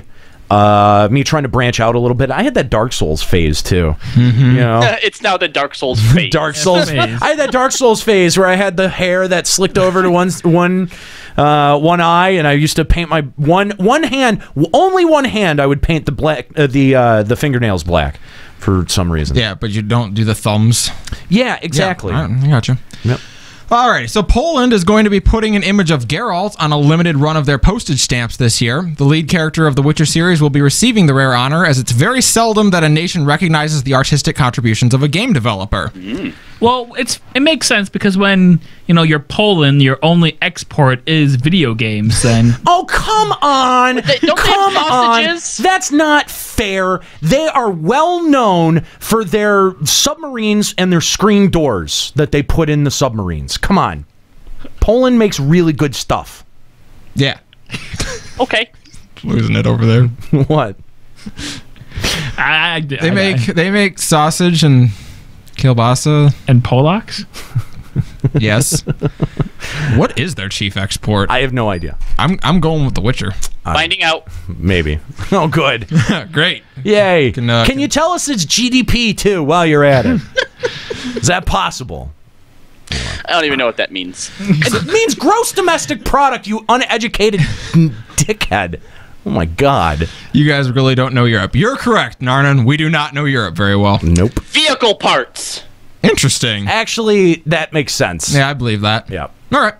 So, in an interesting interview with Polygon, Riot Games owners Marc Merrill and Brandon Beck confirmed that, e- the esports side of League of Legends is still running in the red. Despite being one of the most popularly viewed esports in the world, the company is still investing millions of dollars into events for it without seeing a profit in turn. The creators said, quote, Our goal with esports has always been to make a great player experience first. It is important to note, however, that unlike many esports, Riot runs its events almost entirely in-house. And we're going to talk more about this, but for more information uh, on the news and other stories, visit our blog at finalencountercast.com. But I thought that was a really interesting read that one of the largest esports out there operates in the red, and pretty much knowingly so. Yeah, I, I'm. I don't think that I'm actually that surprised, especially No. coming out of Riot, specifically because esports is in the position where it needs to be running as much promotion as it possibly can. If it's trying to elevate itself to an entertainment product on the level of being, you know, being covered by ESPN or I mean, because you know, you you hear people from the ESL. You hear people from uh, you know from from the esports scene, and their ambition is to be right up there in prime time, along with baseball, basketball, football, and get the prime time coverage that they feel it deserves. Now, whether or not you agree or disagree with that, if that is the goal, then yeah, you have to run your company in the red. You've got to throw every cent that you have at promotion and getting more eyes on it and cracking those deals. Sure. You know, that's it's going to be hugely important and it's probably going to be that way until you get this uh, uh, you know this this thing established as a foothold in American culture. Like there's not even a market for this. You're talking about getting you're penetrating the culture of the American psyche. Esports has taken off in the rest and not necessarily everywhere, but in pockets it's taken off in the rest of the world. Sure. Specifically in Korea and, and in a lot of Asian countries. Well, and that's the weird thing about Riot choosing to run all their major events in house. Almost every other game, the company doesn't run everything. They license it out to a league or something. right, that get runs it. that's where you get the ESL. Now, yeah, exactly. Yeah. Riot has the advantage in that they always get to control how their product is presented. Right. But they have to spend so much money running that, whereas normally whoever they license it out to would foot the bill for that. and it's an interesting decision that Riot is d- deciding to do that all in house because you know, yeah, while you do get to carefully control the image of your product and of the scene that you're trying to cultivate around it, I think it it also creates a really strange bedfellow or not uh, it, it, it does create really strange bedfellows because now you've got riot trying to create a proprietary media product they're trying to create uh, you know, ancillary rules around uh, a, a league that they want control of. And they're still developing a game and they're still trying to create a fun product at the end of the day for people to load up on their own computers and have fun with on their own time, not just on the professional level. So they're balancing a whole lot of factors there besides concentrating on creating the most professional product that that they possibly can. So it's uh, uh, I'm, I'm I'm interested to know when you see you know officially league presented uh, stuff versus ESL stuff, who has the better presentation, or are they pretty damn close? They're similar. What's always nice about like league presentations is they're Riot as a company, they're fun. Right. They, they kind of remind me of like Blizzard. They're willing to just be silly and do like weird stuff. So a lot of their events, like whenever something is t- happening in the game, it'll have a tie-in with its professional presentation. They did a, they introduced a new mode years ago called Ultra Rapid Fire, which basically like all your cooldowns are set down to minimum. Mana is stripped out of the game. You can just spam moves for days. And so when that happened as an April Fool's joke, they did a special invitational between two of their biggest pro teams where they played each other in a game of Ultra Rapid Fire, which they were claiming was going to be what season six was. And it was just, it was absolutely ridiculous, but it was a lot of fun to watch. And it's nice to see the company be so involved with that. Whereas with things like ESL, there's more of a divide there, I guess. Well, and they're they're trying to create. I mean, their their priority at the ESL is to not just create a, a very strict league environment that's regulated, because you need external regulation. That's where Riot steps in. That's where you know ESL officials step in, stuff like that. You also, uh, you know, they're also uh, concentrating on making the most professional product that they possibly can, right? Like if you think about it, if you've got a company that is concentrating only on the, you know the TV production aspect of presenting this game, then you don't you know like you don't have to ever worry about the way that the game balances ever because that's not that's not your business. You're Right. you're a media company. Right, right. And League is trying to balance both of those. So, uh, the, uh, and uh, that's what made me ask. Like, do you ever see a quality difference uh, between the two presentations? Like, I, I, I get what you're asking. Like you see, like sometimes weird things will happen. Like we already know what patch the worlds are going to be played on in October. Like the, they said that this recent patch that just happened will be what the worlds patch is going to be. So even Right. as the game continues to advance uh, in the time between now and worlds, when those tournaments happen, it will be how the game is currently. I, I'm just talking like straight up cameras, microphones, production quality, and and uh, you know the presentational quality. I would you would think in the abstract, right? In the abstract, that the ESL would actually have the leg up because they don't have additional concerns like developing the game, balancing the game, and having all of the actual game parts that Riot has to be concerned with. Well, and you know that's probably one of the reasons that Riot is running in the red because they have to try all that much harder. People in the chat have been saying things like uh, how you know CS:GO they they you know they're making profits or Dota's making profits. So I think it just happens to be a coincidence that the biggest one is operating in the red. But like you said earlier, Nate, it all has to come down to legitimacy. They are trying to cement themselves as a legitimate you know source of, of sports and entertainment. And in a world that is resistant against that you're gonna have to try harder because they're not gonna do it for you Well, and An important point to note too is Riot's not running in the red. The esports segment, of Right. Riot yes, is very right, much yeah. running in the black. Right. Yeah. Yeah. Yeah. That's that is. And uh, that's actually kind of what I thought was interesting about this.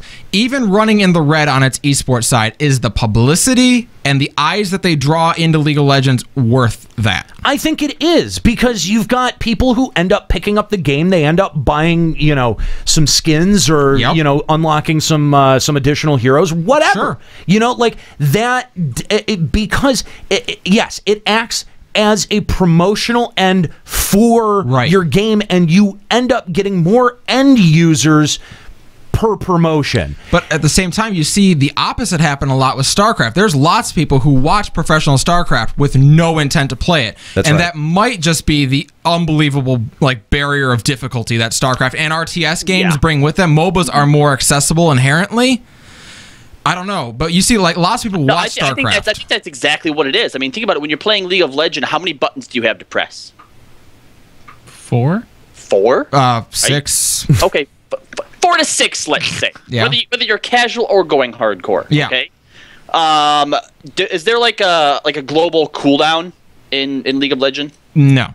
Well, I mean, you have to wait for your spell to cast before you right can do anything. okay so what would you say is the actions per minute for league of legends Uh, it's fairly high, but all on the mouse side of things, not so much on the keyboard. definitely not like you know Not. 300. It's all movement based. It's nothing like StarCraft. Nothing even close. when I that day that you told me that and and I actually like that connection was finally made in my head. Yeah. I suddenly realized why I was so shitty at StarCraft playing on my demo disc It's- way back in like '99. They had a. They used to do a series. They don't do it anymore. Where they would basically they would, it was a split screen series where you could see what was happening on the on this on the game, and then they on his hand as well. Yeah. And so what's happening while he's playing? He's in a huge battle.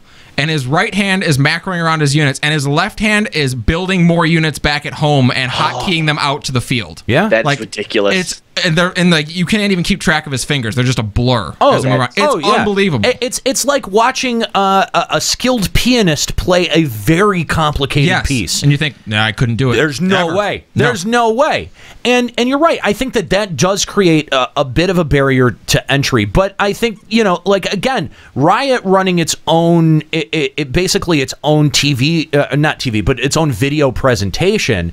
You know, uh, again, it, it it's got it's promoting two things. It's promoting both the the idea of esports and the league that they're trying to form around their game, but it is also promoting their game. So I, I would think that division I would all I would run in the red as long as the company overall was in the black. Yeah, Because you can you can absorb the losses from that department with the gains that you get from either selling you know, selling skins or or whatever it is. and it's all investment in the future of the uh of the sport of at the this and, point. and the yeah. yeah, and your Well, your end product too. There's no marketing division in the world that runs in the black. Right. Every one of them runs in the red. That's just how it is. If they look at it as their marketing division, then great. Right. Like that you're doing exactly if they, what you want to do. If they were in a position where they didn't need to do marketing, which by the way, no sports league in the world is in that position. But if they were in a, in the in the position where they had to do less, or they could bargain the price down that they were having to pay for their promotion, then you know I think that you would you know like you would start to see uh, you know, you would start to see uh, the the division run closer to in the black, or if if if not completely in the red. But you know, you know what I mean. Like if you take that element out of there, money is being generated. No matter what, yeah. like that is definitely happening. But I think that in order to be able to elevate the league to where it needs to be in the in the cultural consciousness, that you've got to you have to run in the red you have to spend as much as you possibly can to tell people look we're here and this is awesome And the, yeah, this is what's going on. And going back to your point earlier about does their production quality suffer? I don't think it does. If there's anything they do well, it's put on a good show. Um, is it as good as ESL? That's like what I'd say. That I I don't think so. I don't think it's quite that good, and maybe not even as good as like uh, some of the StarCraft stuff that you see. But like overall, it's a perfectly quality show. Okay. Like I wouldn't have any real complaints about that. I've seen people talking in the chat. Uh, there's some controversy because one of the best casters over in Korea actually was. Uh, was told he can't come to Worlds this year, and no one really understands why. Riot does have a lot of drama behind it, and that's one of the problems with them running everything. It's Got their it. way or the Kojimaing highway. him, aren't they? Huh? They're Kojimaing him, aren't they? uh good callback to the video game awards Yeah, there we go. I wonder d- d- hey isn't it right about now that we would have been seeing the video game awards whatever happened to that shit did that just go away? I'm sorry, I don't mean to derail the conversation, fine. but I just I this occurred to me the other day. What Is happened? it about the time? Well, I- I feel like when did we do that show? That was early on in the run. We celebrated our year. I Uh, feel is, is, it, is it still Spike that does it? no. It's coming December 1st. oh, December, okay. Okay, Hmm. all right. Doesn't really make sense to have video game Oh, awards yep. when we still have months left. Oh man, Dis- uh, video game awards also coming out before the Last Guardian. Nailed it. It's gonna be a good day. oh my god. How? I hope they get some like fake award, like the longest delayed game goes to. Honest to God, The Last Guardian better be fucking amazing. That that game better fucking blow you when you open the package because like this is ridiculous. I'm sure it'll blow. Don't you worry. Uh, I, and and the thing is, is I really like. After ten years, the last game that they made was Shadow of the Colossus, right? Wow, was it really? Was it? Was that the last game that they made? I think it was before they started work on the Last Guardian. I think. I think it Was was. Ico before Ico that? was before. Oh my god. Ico was before. It's taken this long. I'm not sure that they even have the chops to pull it off. I'm not sure that That's they do. insane. I mean, that's it's fucking ridiculous how many pieces of hardware that this has moved between. Come on, guys, get your shit together. yeah, get the game out. God damn.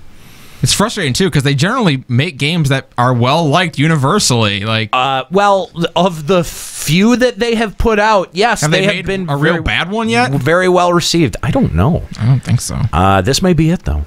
Apparently, we're being told that at uh, TGS, the Last Guardian's demo was not well received. Ooh. Maybe yeah, I had also. I think I had also heard that. I, re- I recall also hearing that that it it didn't didn't go over terribly well. it's not good. It's not good. Yikes. Um. So yeah. Uh, uh, now going back to esports. Yeah, but it- it- so I do think that you know again if you're trying to take a league and make it competitive in terms of eyeballs because you know if you can't pull down the the audience numbers, then there's no, you're not even going to be given an opportunity to get more exposure on places like, you know, like we're starting to see, like TBS and ESPN and, and stuff like that. And you want to even reach wider than that. What do you think is the better way to go about it this at this point? Do you do the riot strategy and say we're going to run everything, or do you contact MLG and say, "Hey, host our game too"? What, which way do you go? Is it better to do it in house or out of house?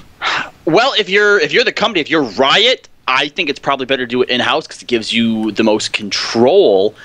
for the sport or the concept itself, I think it's better to to get everything unified.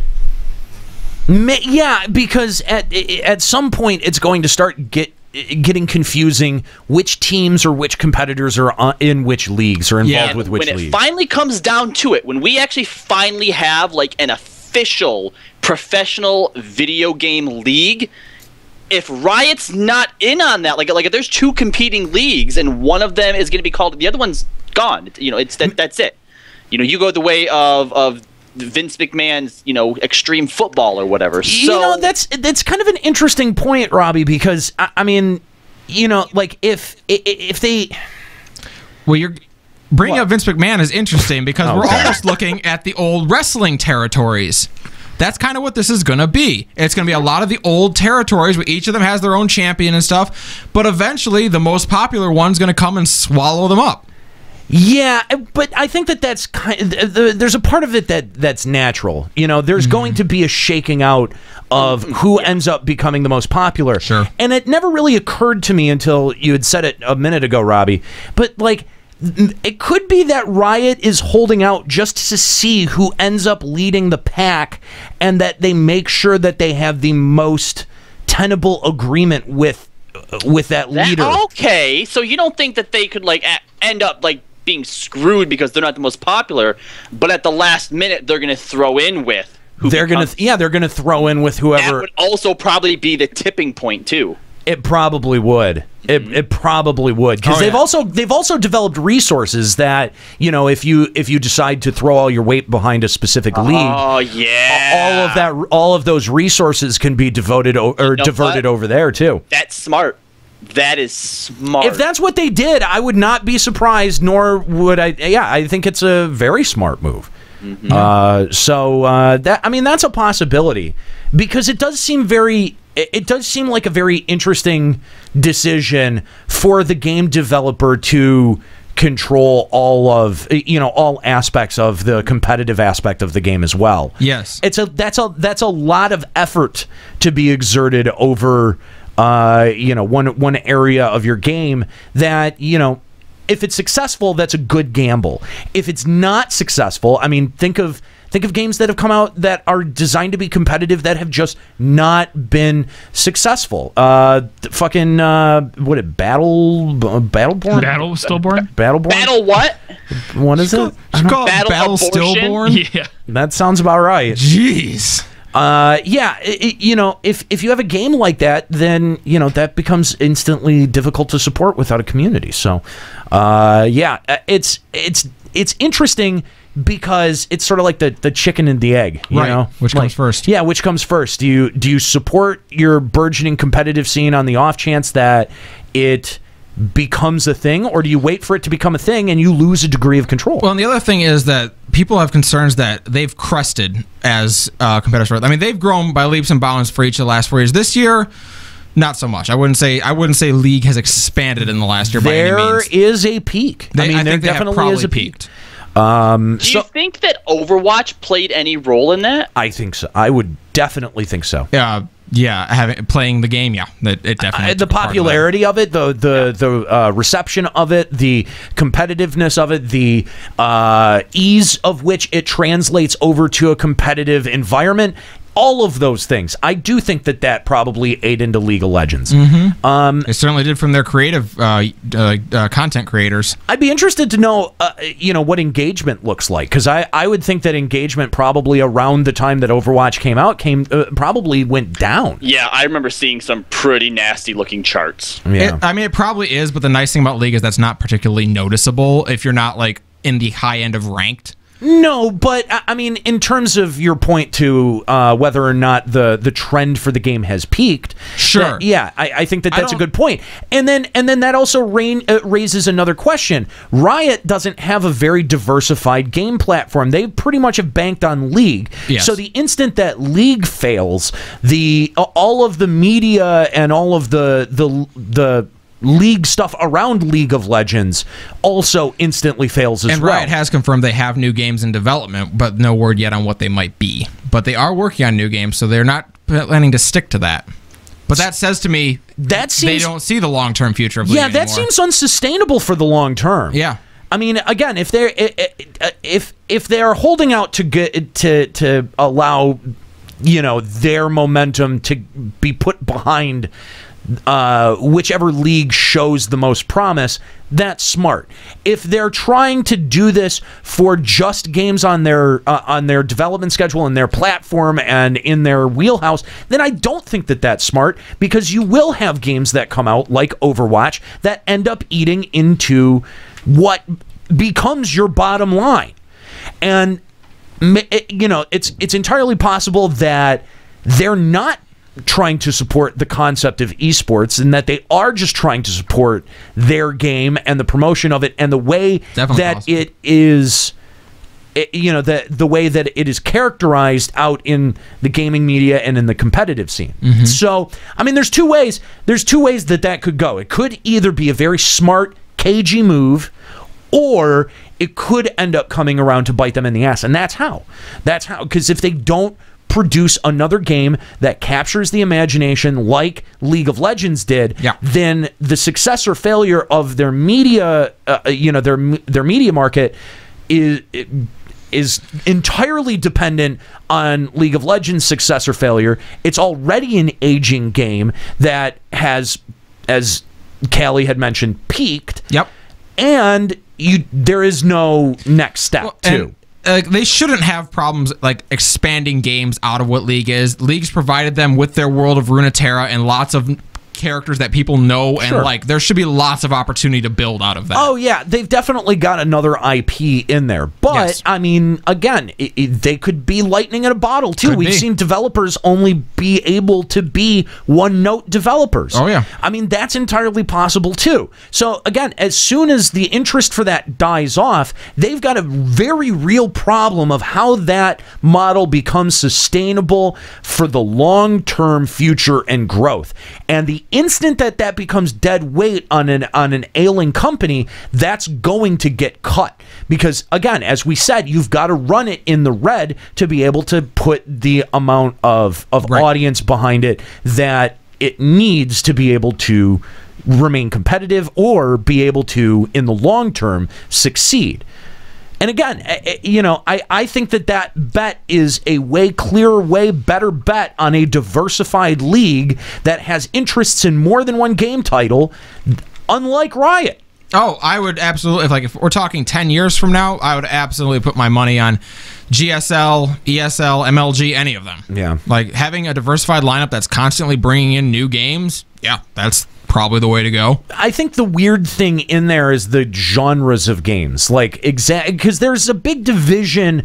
Um, you know, you get a lot of uh, uh, fighting game representation out at something Fighting, like Evo. shooters, RTS, MOBA, Right, it's all over the place. Uh, It, it is all over the place, and different leagues will, you know, they they allow competition for different games. Mm-hmm. And at what point, uh, you know, does does the biggest league, does the leader out of this have to pick the most popular games, or do they have to pick the most interesting to watch games? I mean, because that's that's a very real problem too. Because you want to have what you're watching be compelling, but you also want it to have the popularity enough to drive numbers. Well, you look at like the NCAA and what they have to deal with. There's not just college football, Right. but that's what most people care about. Right. But they do still have college hockey, college baseball, college basketball, swimming, lacrosse, everything. Right. It does still exist, although it may be harder to find. And I think that'll probably be the the model they'll go with eventually, where the biggest games will be right on the on the website, easy to find, easy to go for, and the smaller games. Yeah, they will have lesser development or lesser production value put into them. And well, and not just that, but I mean, like, if you're competitive in one of those games, let's say Smash, if you're very competitive in Smash, right? Smash is not terribly popular among the top viewed competitive games, right? Like, I would say it's probably down there in the middle of the road.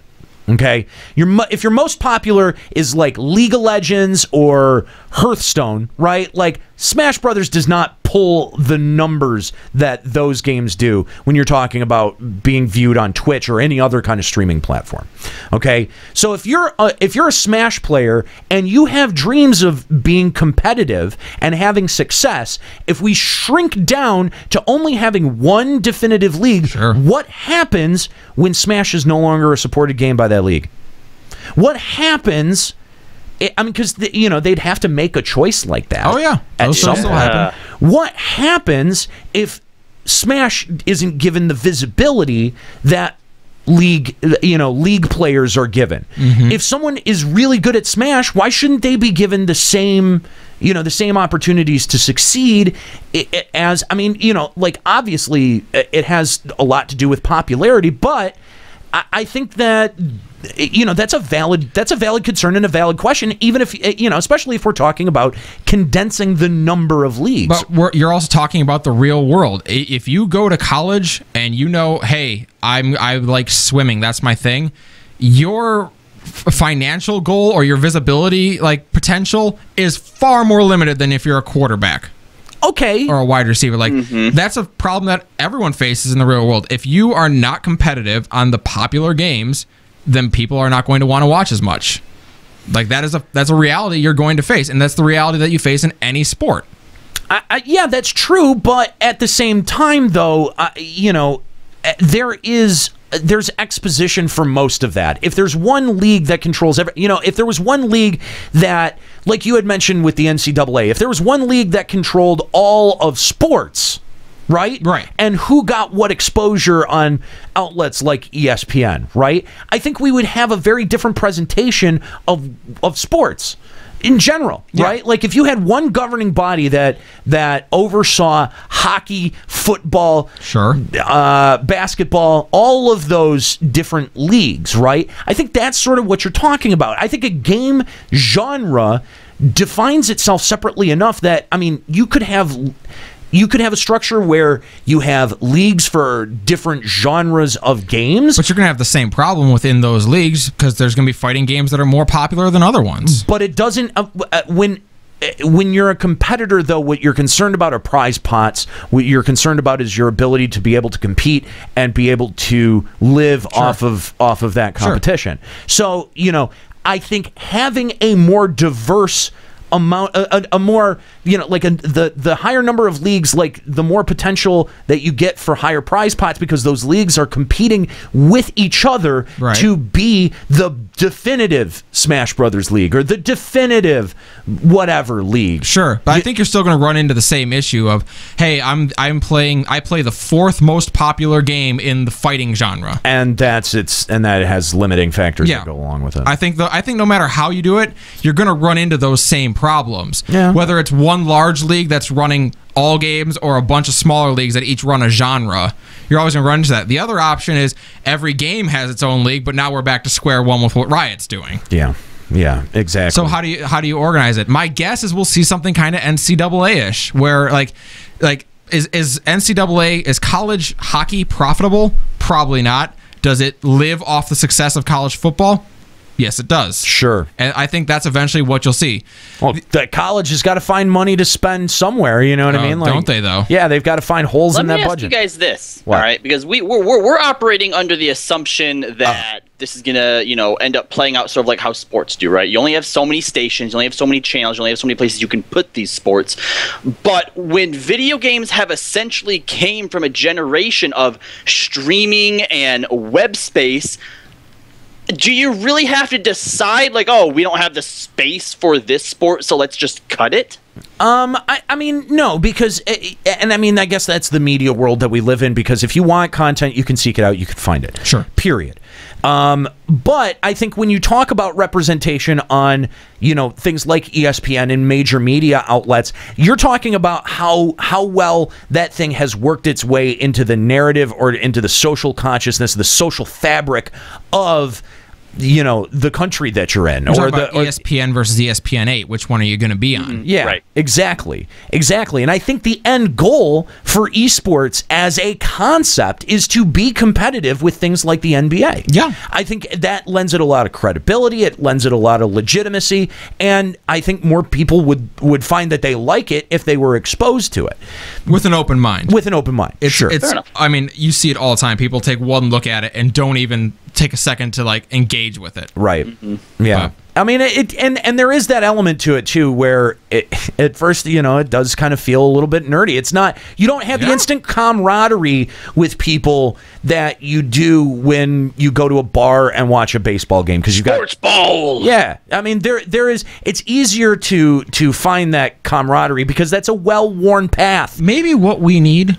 is we need teams that have a city attached to them like they do in sports. It's not a you bad feel idea. that camaraderie because you're all rooting for the Detroit Tigers if you're here. You're all rooting for your city's team. You don't get that in esports. Yeah, but then- you might root for the NA team. But I I mean, when you talk about ESL, you're talking about you know you've only got two, three, maybe four teams that are competing and representing the entire country of the United States, Right. And that's because the sport hasn't grown quite to the level where I think you could you could you know break it down like that. I think if they took more of an effort, put more of an effort into building where the teams are from and who they represent, you would get that kind of tie. Like if we saw a team like you But that that comes that comes with a regional league that focuses on the United States as its region. even, but even if like they you saw a StarCraft tournament and they made more of a deal like, hey, here's a player in competitive StarCraft who's actually from the United States. It's not a common thing. Right. But if they actually like really like build that up and that was just on the background in some bar, somebody like, hey, that guy's actually is from the is from the United States. I'll root for him. Right. And even if that's all it is to get you to just kind of watch it in the background, you might hook some people doing that. Yeah.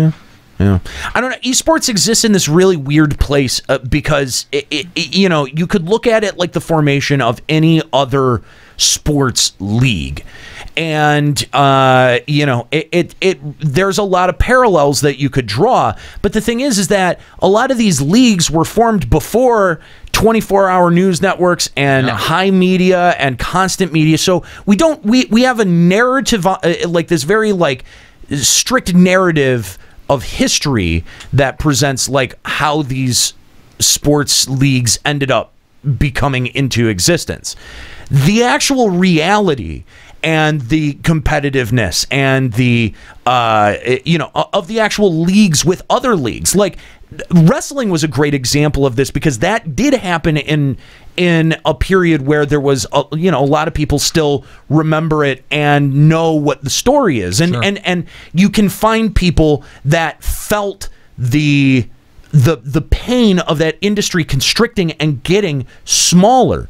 But some of that needs to happen. Like having eh, having professional wrestling that was regional wasn't going to work for uh, you know a constantly media connected society. Absolutely. And in the same way you know as this grows in popularity that is also it- it's weird that it it's going from the macro to the micro you know? Like we have uh, nationally competitive teams as opposed to uh, you know regionally competitive. I and I think eventually seeing those regional uh, teams pop up will be big because that will Yeah. give you a sense of camaraderie. Yeah, I think so. I think so. And I and I think I actually think you do see some of these regional leagues, but there's no way that they're getting the exposure or the funding to be able to work their way into the consciousness like places like, you know, Riot's presentations or the E ESL. And another thing is like NA teams have been in, in the esports scene. We've been dominated in a lot of games for so long by places like Korea, Japan, China, where it's just like you just kind of know you're going to lose. But if there was if there was more interest, I think if, if there was more interest on the media end and it, and it was exposed to more people and and people knew like, oh, this is a thing that I could do. Yes. That that would encourage I mean, we would have way more competitive players coming out of North America, I think. Yeah, I think yeah, exactly. And we're seeing that over the last couple of years. I think NA has stepped up. I think they have gotten better.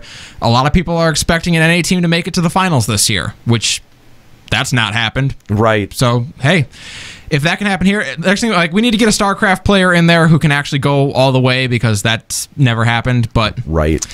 Outside of that, NA is becoming more competitive. Esports is becoming more accepted over here. We're catching up to something that Korea has already had going for a long time in that aspect. And yeah, I think as you start seeing people over here where it becomes socially acceptable to be a pro gamer, Yeah, Grandma, there's a future in it. God damn it. Kinda, yeah. Uh, it- right now, there is very much that stigma that there is no future playing video games. That's still very prevalent in America. So you know something I was thinking about the other day. Uh, i- i- is it is it weird? Do you, do any of you guys play games at work or like have any because the the way my job works, I have a lot of downtime. Either something is processing on a computer, or I'm waiting for the next commercial block to hit. I have a lot of downtime, and I've got to keep myself occupied. And in fact, gaming is something that it's in a lot of ways encouraged in my industry as a way to, you know, stay awake. If nothing else, Don't fall know. asleep at the board. Yeah, exactly. and I, I, I mean, I'm just kind of curious. Like, would it, it, uh, first of all, do you ever game in front of your coworkers? And if you, if you don't, would it make you strange? Uh, would it make you feel strange to game in front of your coworkers? Well, I work in retail, Yeah. so no. I have definitely never played Pokemon on the 3DS at work in the back room like or in front of people. That is like not a thing that I do. Feel like you're lying. No. No. That would get me fired, Nate. And given that I uh, work in pizza delivery, I definitely do not. Why do you tell your coworkers about this show? That's what I. That's what I'm. As, as I ask this question now, that's what I'm wondering.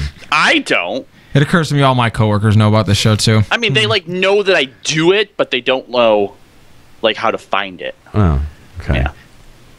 But I, I, I, like, would it make you feel weird? Because sometimes I do. I have to admit, around certain people, because I have the ability, and, and I admit I, I I've got a bit of a privilege here, so I'm checking my privilege. But around certain people that I work with, I feel really weird when one of them will walk into the studio and I'll be on my 3DS, right? Like it, and it's only specific people, and it's not my boss, by the way. Like it's I'm, just people who view video games as still just being like like a thing that kids do. Yes. Like you're playing Pokemon. Right. And I feel like among certain coworkers, like there are people who see me different because they know I, I play video games. Mm-hmm. Um, but I've kind of, I, I, at some point, I think like I've had to let it go and kind of embrace the fact that, look, I do fucking, I make content about video games. Like this is kind of an extension of what I want to do professionally. Uh, I, I, don't- I, I, I've had to stop caring. Are the people who you feel that way around, just out of curiosity, are Yeah. they either the same age or older than you? Yes, I think that's I think that's still very much a stigma that existed when It we is. grew up as It is. kids. That Absolutely is is. not there ten years younger than us right now. I don't think that will be a problem forever. I think in the next ten years you'll see that go away. It's people our age and up where vi- we're playing games still has that nerd stigma attached to it. Mm-hmm. But people who I are younger, they don't care. Everyone plays video games now.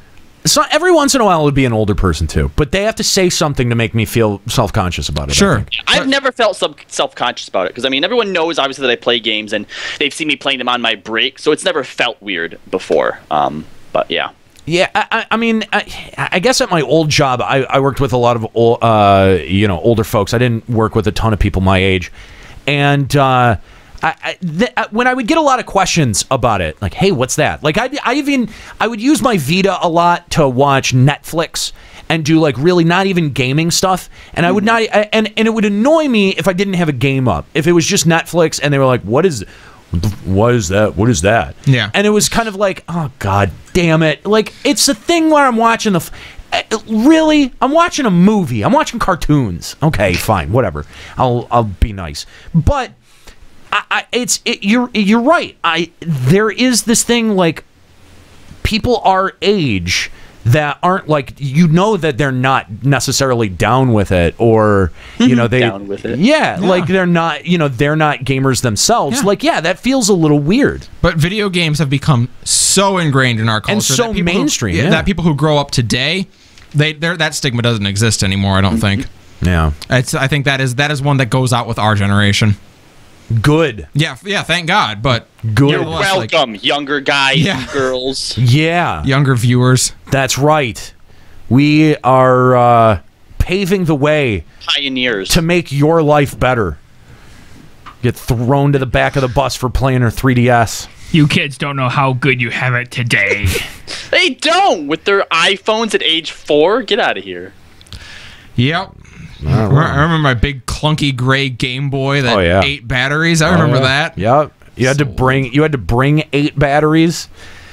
Just eh, because you knew it ate batteries, You know and you what had to throw them out four at a time, but bring eight just in case. And, I had a Game Gear. And had to fend off the bullies, so the smart thing was to put them in a sock, so then you could just sock them. There with you it. go. Yeah. I owned a Game Gear because there was no internet to tell me, hey, this thing's Garbo, don't buy it.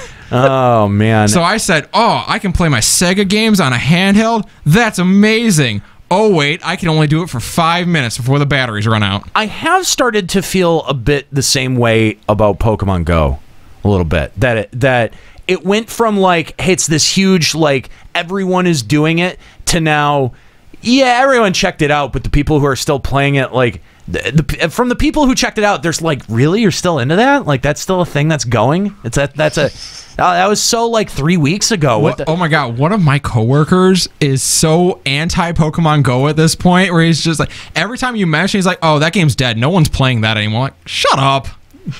Go away. Yes, they are. There's still plenty, plenty of people playing it.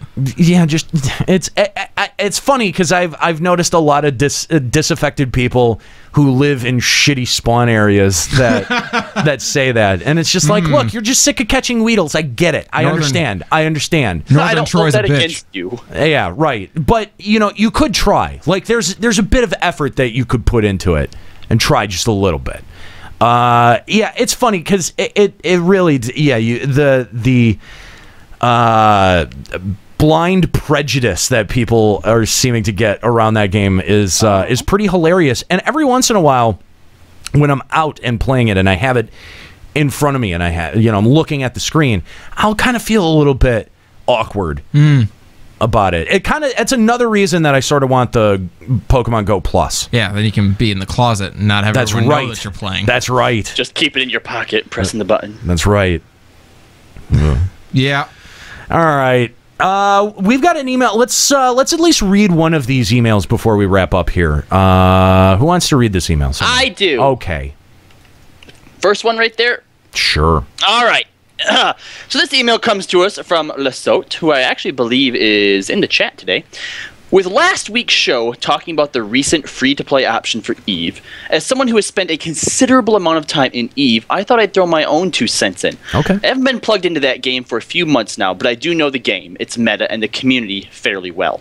I've also started talking to my old corp mates about this. First, Eve was the first MMO to use in game currency to buy subtime.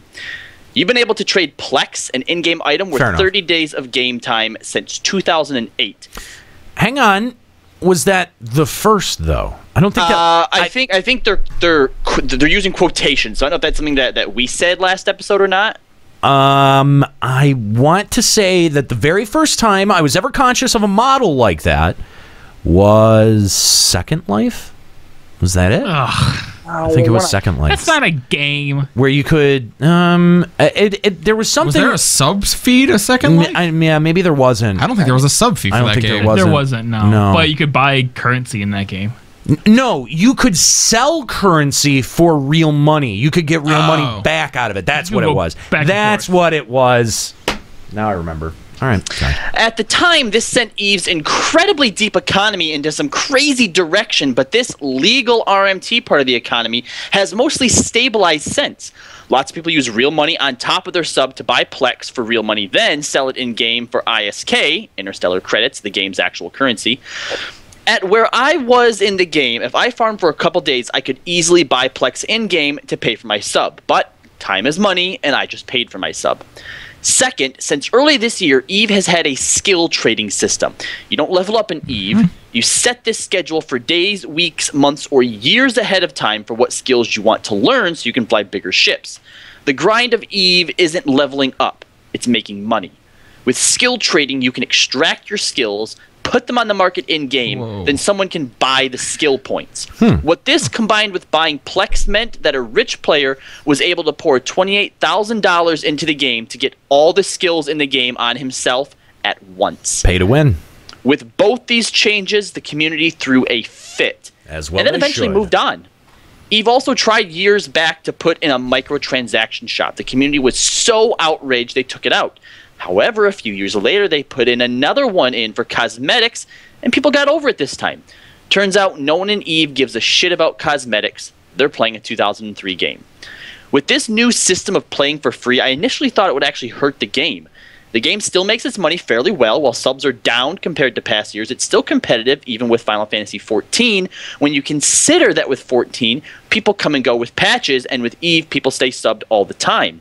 Most longtime players actually multi box anywhere between 2 to 10 different accounts at once, mm-hmm. which is an intended feature, and use it for activities like farming faster or having a couple different scouts up to see if any unfriendlies show up. Initially, I figured that people would unsub and play on their free accounts. But recently, I was informed that you have to use pay to play accounts in order to multi box. What I do think this will do for the game is open it up for a lot of new people. The criticism of Eve is that you tend to be in small ships for the first year or so, and at least skill trading allowed people to get into bigger ships faster. That said, while a few dozen frigates might not be too scary, 7,000 frigates full of bloodthirsty noobs can take down a lot in the game with some support. Yeah. The free to play option will that. probably let some people stick around for that more boring first year because it'll be free. For other players who play the meta game or the market, they actually probably won't have to sub now because they don't actually get most of their shit done in game. At its heart, Eve is a platform for the most crazy kinds of PvP in and in the game stock market. In corporate espionage and in marshaling several thousands of players at once in massive battles. I highly recommend Andrew Groen's book Empires of Eve, a really interesting short book chronicling all hmm. the conflicts that have taken place over the years that give people a window into probably the most unique MMO out there. I actually would be into reading that. I might actually too. I might actually read that. 'Cause That I seems actually, I actually usually fascinating. get pretty excited when like Eve makes these headlines, like these huge battles or these awesome stories. Oh yeah! Oh, my oh, God. the fucking goon squad. The way Goon the way yeah the way the fucking something awful ran and tr- just trolled the shit out of people on that game for two, like two three years solid. And I don't even know if it's still running. But the way that it would They've make headlines, destroyed. holy fuck, was that amazing? Oh my god, Kyle plays Eve, and I'll just listen for him to tell me story, like listen for hours to stories about like what happens in Eve. It's so interesting. It really is, and I, I I, don't want to play it, but I love hearing about it. Yeah, the, uh, Just like its history and stuff, how it actually Yes. has like its own history. Yes, I think that's fucking not- fascinating. that's not like you know in WoW or Final Fantasy it has a story that the devs Right. are creating. It's just all player created. Yeah, Yeah. It's, it's very cool. Uh, even people I know that haven't played the game have enjoyed it and have uh, informed themselves about it. You can apparently get it on Kindle for ten dollars. Uh, I hope that that is enlightening for people who haven't played Eve. As someone who played Eve and Final Fantasy XI, my, static God. believes I'm a masochist. Uh, Smiley yeah? face, Lesot. Uh, thanks, Lasote, for the email. We appreciate it. Uh, and yeah, a little peek into Eve and uh, the way that that game was run. I know that we didn't, uh, a lot of us didn't uh, play Eve, and we sort of used that story as a way to kind of, you know, get into the validity of subscription models in MMOs. But it is interesting to look at because you know, I think Eve is a game that knows exactly what it is, that knows exactly what its fan base wants, and you know how to achieve that. Like it's it's a game that didn't try to be something that it's not. It never put Lords of Verminion in the game. Yeah, I no, mean, they, no, they have made their colossal blunders. They have, which was just base- outlined by Lasote. Yeah, and their fan base literally rioted. I don't mean they sent angry letters. I mean they found a statue that couldn't be blown up and had everyone shoot at it until the servers crashed. Yes. Yeah. they literally rioted. I, I mean, Eve players are fairly notorious for their in-game demonstrations when they don't like a feature that's added. But what's interesting is the way that Eve would change and adapt to those wants of those players. And it was a game that at some point said, "All right, we're not going to get any more people." Like attracting new people to this game, not going to happen. Never. We need to we need to focus on the people who are playing right now. Yeah. And I think that that's an important development strategy, especially for an ongoing development like an MMO, a persistent world. And uh, it's it, it- having the will and the bravery to say, all right, we're going to call it on trying to pick up new subs. We've got to focus on what we have. Like, there's some balls that's required there. That's why they're still alive after 13 years. That's why they're still running. Yeah. I think the game and, and the games that know that do well. Like they stay around long term. Yep. So Final Fantasy 14. Take note. Please. Please take note. Please. Please. Uh all right, that's going to be it Actually, you know what? We've only got one more email. Why don't we clear this out? Not so we don't have any more emails for next week. Sounds Uh, good. Looks like you get two more Uh, emails. Two? Is it two? Yeah, It's two, yeah. Okay. Well, fuck Well, it. you know what? Why don't Chris take one and Callie take one? Fine. Hey, FEC crew. This is the short one, right? You read the yes, short. it's a short one, dumbass. Thank God. I've recently started working on my massive backlog of games. Uh, this is from David. Uh, I'm playing through uh, using a quote hit and run method because I don't want to waste a lot of time forcing myself to play a game I don't enjoy. So far, I've come to terms with the fact that I don't seem to like some games that everyone else likes, and that's okay. While my personal tastes don't align with certain games, I can definitely appreciate what they bring to the table. Are there any games that you all personally don't care for despite the acclaim that they receive, but uh, completely understand and appreciate the game for what it's done for the industry and the question. culture of gaming? Mm-hmm. Mm, Personally, Totally. yeah. Yeah. Yeah. Absolutely. I've gotten honestly a ton of like like probably more than you guys thanks to Ryoku.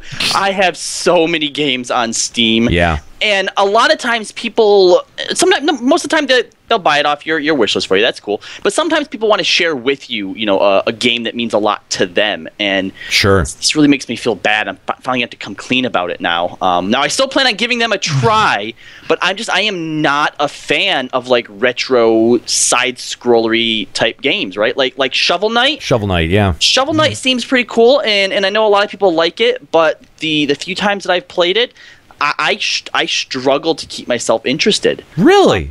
Yeah. Uh, now, uh, recently I I played Shantae.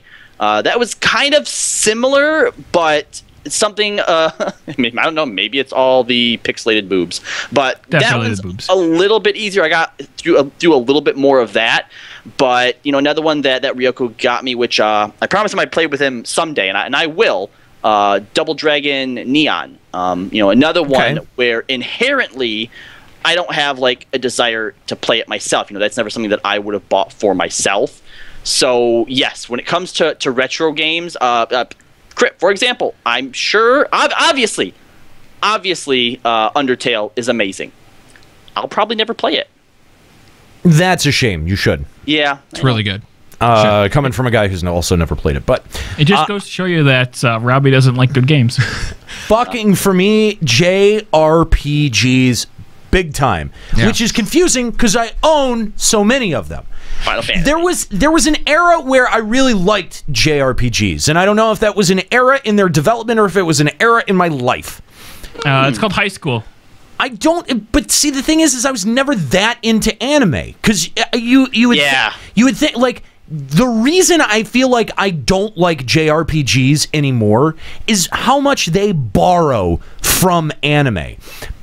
There was a point where I feel like they didn't, or that what they're borrowing from anime is just not not context that I have. Like the early run of PlayStation Square games, right? Like yeah, okay. Uh, uh, what's uh, the fucking Xenogears is probably the most anime inspired out of that, right? Like I, you can see, you can see it's definite anime ish. Sure, yeah.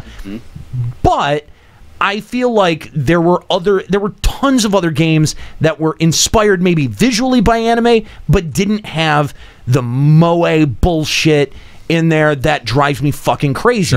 I, I, I mean, a lot of early Square games I think are eh, have this. Like, um, I think you're okay with the anime aesthetic, but not the personality. yeah, I think that's part of it. I, you know, there, that's also an era that didn't see much voice acting too. That may have been That a big- probably helps, That yeah. may have been a big part of it because it was after PS2 that it lost me big time, big time.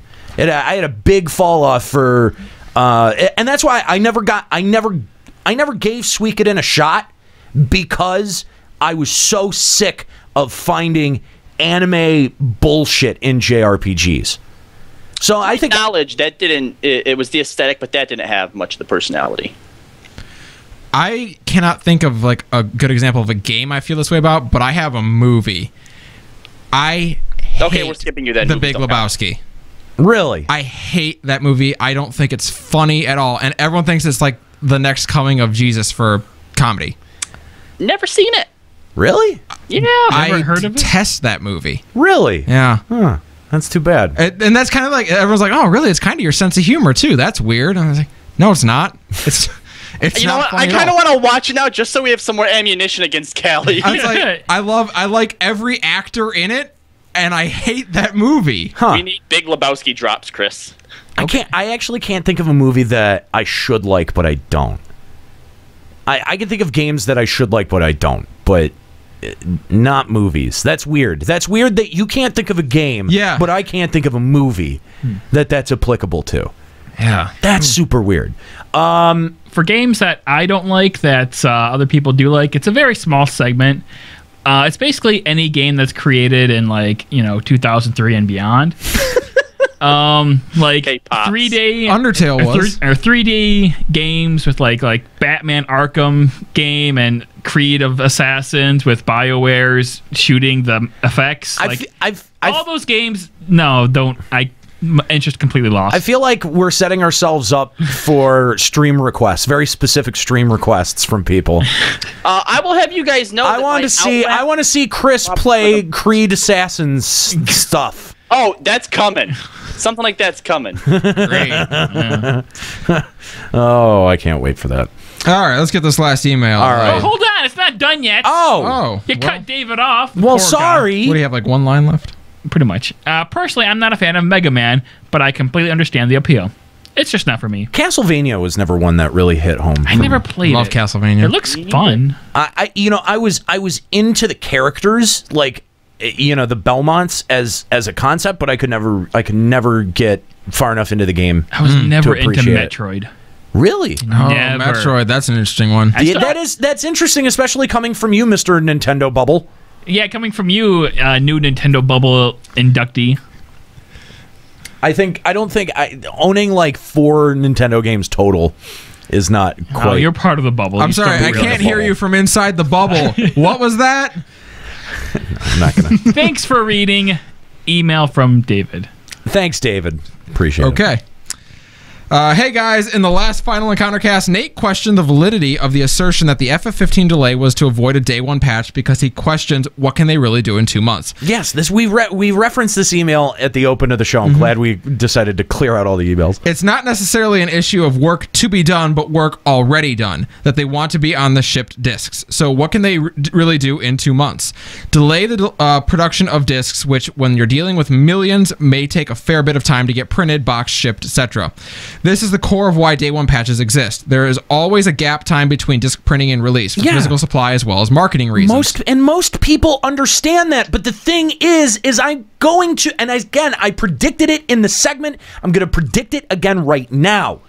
There is still, with the delay, going to be a day one patch, and it's going to be 40 gigs or above. I mean, it's going to be you know- fucking huge. Maybe that was the point then. Had they not done this delay, you'd have been looking at like an 80, 90 gig update. Uh, It's And still the And it'll fact eat up that all it's your taking bandwidth. two months, yeah. That, that might actually be out of their hand because if they then have to delay the printing of the discs, the company that they're going to might be all right. Well, then you know what? We're not going to be able to get to it until this time, so they don't necessarily need two more months. That's just kind of like how it ended up sussing out. Well, if that's the case, then just fucking. I don't know. Just put out the day one download. Make it big. Fine. Fuck it. Like I think that I've never that- had a problem with day one patches. No, neither doesn't do I. Me. No, no, neither do I. It just means that you've been supporting your product right until the eleventh hour, and that's not a bad. That's not a bad thing. I, I, it just it either says something is so drastically wrong or so drastically broken with the game experience that we have to push this off for two months, or as as this person is saying, a way to avoid the day one downloads and have that be so sizable. But again, I, if if this game comes out and there's still a day one download, what was the fucking point of the delay? Especially after, like you've pointed out, their big showing. Yes, if if anyone can explain that to me, I I don't know. Well, I'll, like, and I'll it's like, blow you. Let's say there's a 40 gig day one patch. How long is that going to take to download? Probably a while, but not two months. Right, exactly. We're just gonna That's a gloss gr- over the fact that Anier's gonna or uh, Nate's gonna blow somebody. I really didn't want to go into any further detail. Did you? Yeah, let's uh, let's get uh, Because there's no way I'm wrong. Let's get the hard and dirty here. Because there's no way No, I'm no, wrong. not hard or dirty. No. Be quiet. Uh, with the advent of internet connected consoles, devs can continue working in that time gap. To me, it sounds like they were behind schedule a bit and would uh, still be fixing slash optimizing pretty major things during that gap. Articles about the delay mentioned data showing 20% of the Japanese consoles are not connected to the internet, and Tabata wanted those players to have all those fixes as well. At least that's what he says. Because in a very practical sense, it is unlikely 15 actually had a 10 year development But cycle. there's still going to be a day one patch. I guarantee it. I'm telling you right now. Even with the two month delay, we're going to get the game and everyone's going to forget about the two month delay at that point, and there's still going to be a day one patch, and they're never going to justify or explain the two month delay. I, I, I mean, no one else is frustrated by this. Like, Oh, Yeah, because I'm at the point where I never cared about FF15 anyway, so no. Yeah, I haven't really cared tons about Square I, Enix in a long you time. You know, I, I have to admit, I don't care that much about FF15, but it just seems like in the entire scheme and idea of developing and promoting games, that this is a step backward, more towards Duke Nukem Forever territory. You're not wrong. God damn it. I thought we had moved past this in a lot of ways, like as an industry. I thought we had moved past shit like this. No, in fact, I you might even argue that, that it's starting to become more prevalent. I mean, was- Last yeah. Guardian was probably one of the first ones that did it, right? Still doing it. FF15, Kingdom Hearts Fucking 3. Kingdom Hearts 3. 14, what is it, 14 years ago, 15 years ago that the first game two came of out? The three of them are Square Enix. Jesus oh, Christ. Jesus Christ. childhood completely ruined. Yeah. Uh, behind the scenes, things probably looked very uh, similar to the Final Fantasy XIV versus a Realm Reborn scenario. A troubled production that was scrapped and rebooted with new internal leadership. Replaced Tanaka with Nomura and Yoshi P with Tabata. The biggest difference is unlike. Stop! Stop! Stop! do you do you want me to read this email? No, yes, I do. I'm just. You want to read it? You can do it. No, okay. No. The biggest difference is unlike 14, the failed production didn't actually result in a game release.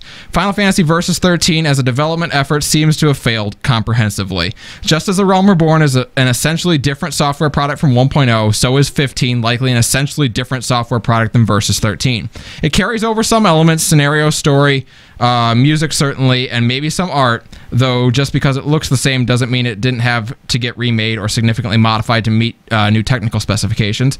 But by definition, all of the hardest work that likely caused the original effort to fail in the uh, first place of creating a run real time RPG that actually works to console specs and all of the fully fleshed out content on top of it was left for them to do. That was the longest run on sentence in history. Use a damn period. Assuming the effort started a year or two before it was announced think at it said that. 15, the le- it did say that just to me. Before it was announced at 15, uh, the length of the development effort seems pretty in line with a modern AAA title, Torquil Rather Dashing. I just. Holy crap. I, uh, I look. It, it maybe, but the fact that they slapped the 15 title on it and it's it's just gone through the enormous amount of problems that it has. I mean, it's been a long time since we've seen a Final Fantasy, you know, a full title.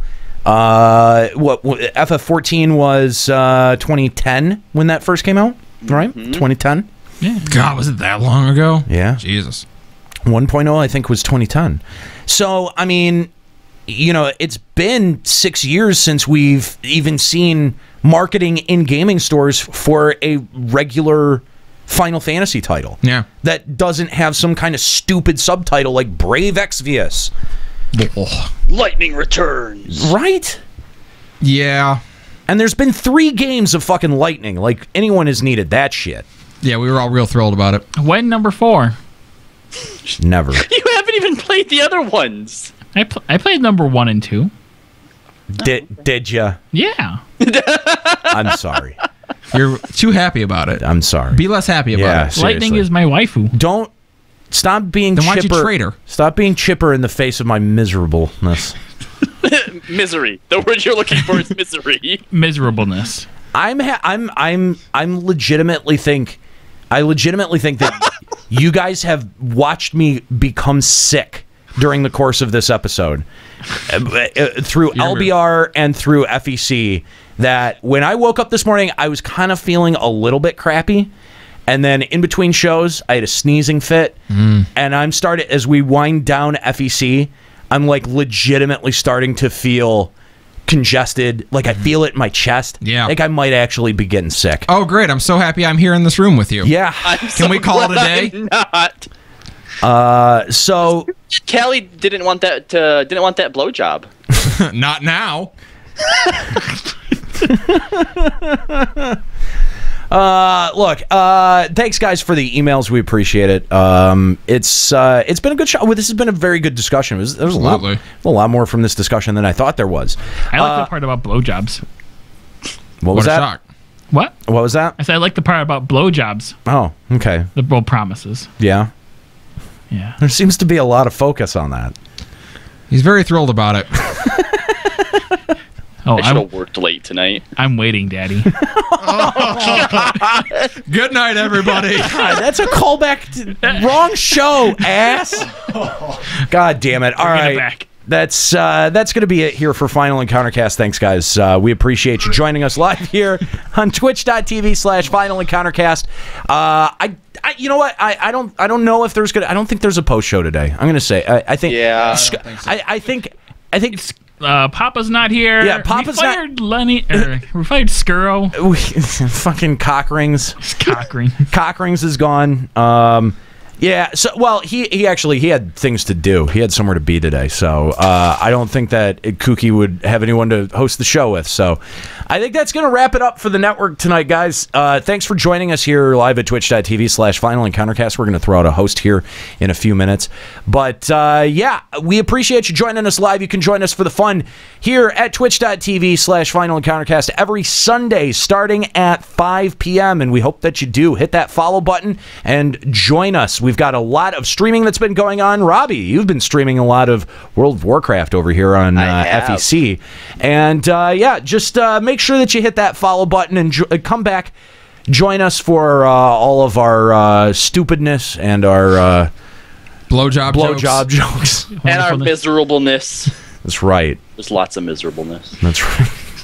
I'm playing WoW now. unending unending miserableness that should be that should be the new slogan for the show Un- Ending miserableness. unyielding miserableness anyway Another victory for America.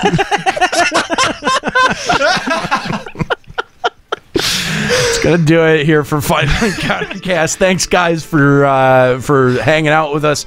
Finalencountercast.com is the website. Make sure you go uh, check that out. Uh, subscribe to us on uh, whatever pl- uh, podcast platform that you use itunes google play whatever it is.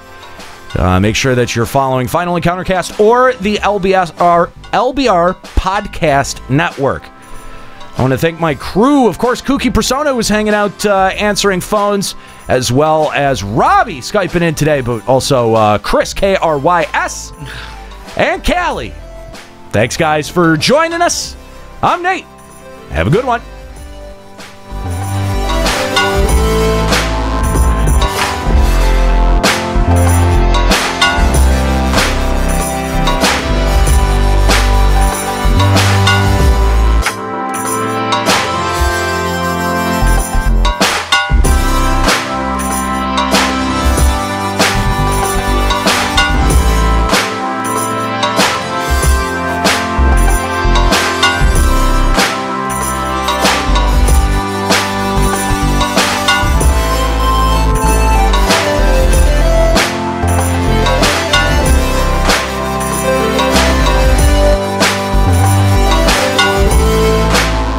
Final Encountercast is a production of FinalEncountercast.com, Limit Break Radio, and Bender Media Productions. Today's episode was produced by Callie Sloan and Kooky Persona. This show is made possible by the generous Patreon donors of the podcast Limit Break Radio. Opening music provided by Keyboard Kid. More info and music can be found at keyboardkid206.bandcamp.com. Closing music provided by Sobsy. More info can be found at sobsy.bandcamp.com. For links to articles mentioned on this show, check out our live blog over at finalencountercast.com. Final Encountercast and its hosts are solely responsible for its content.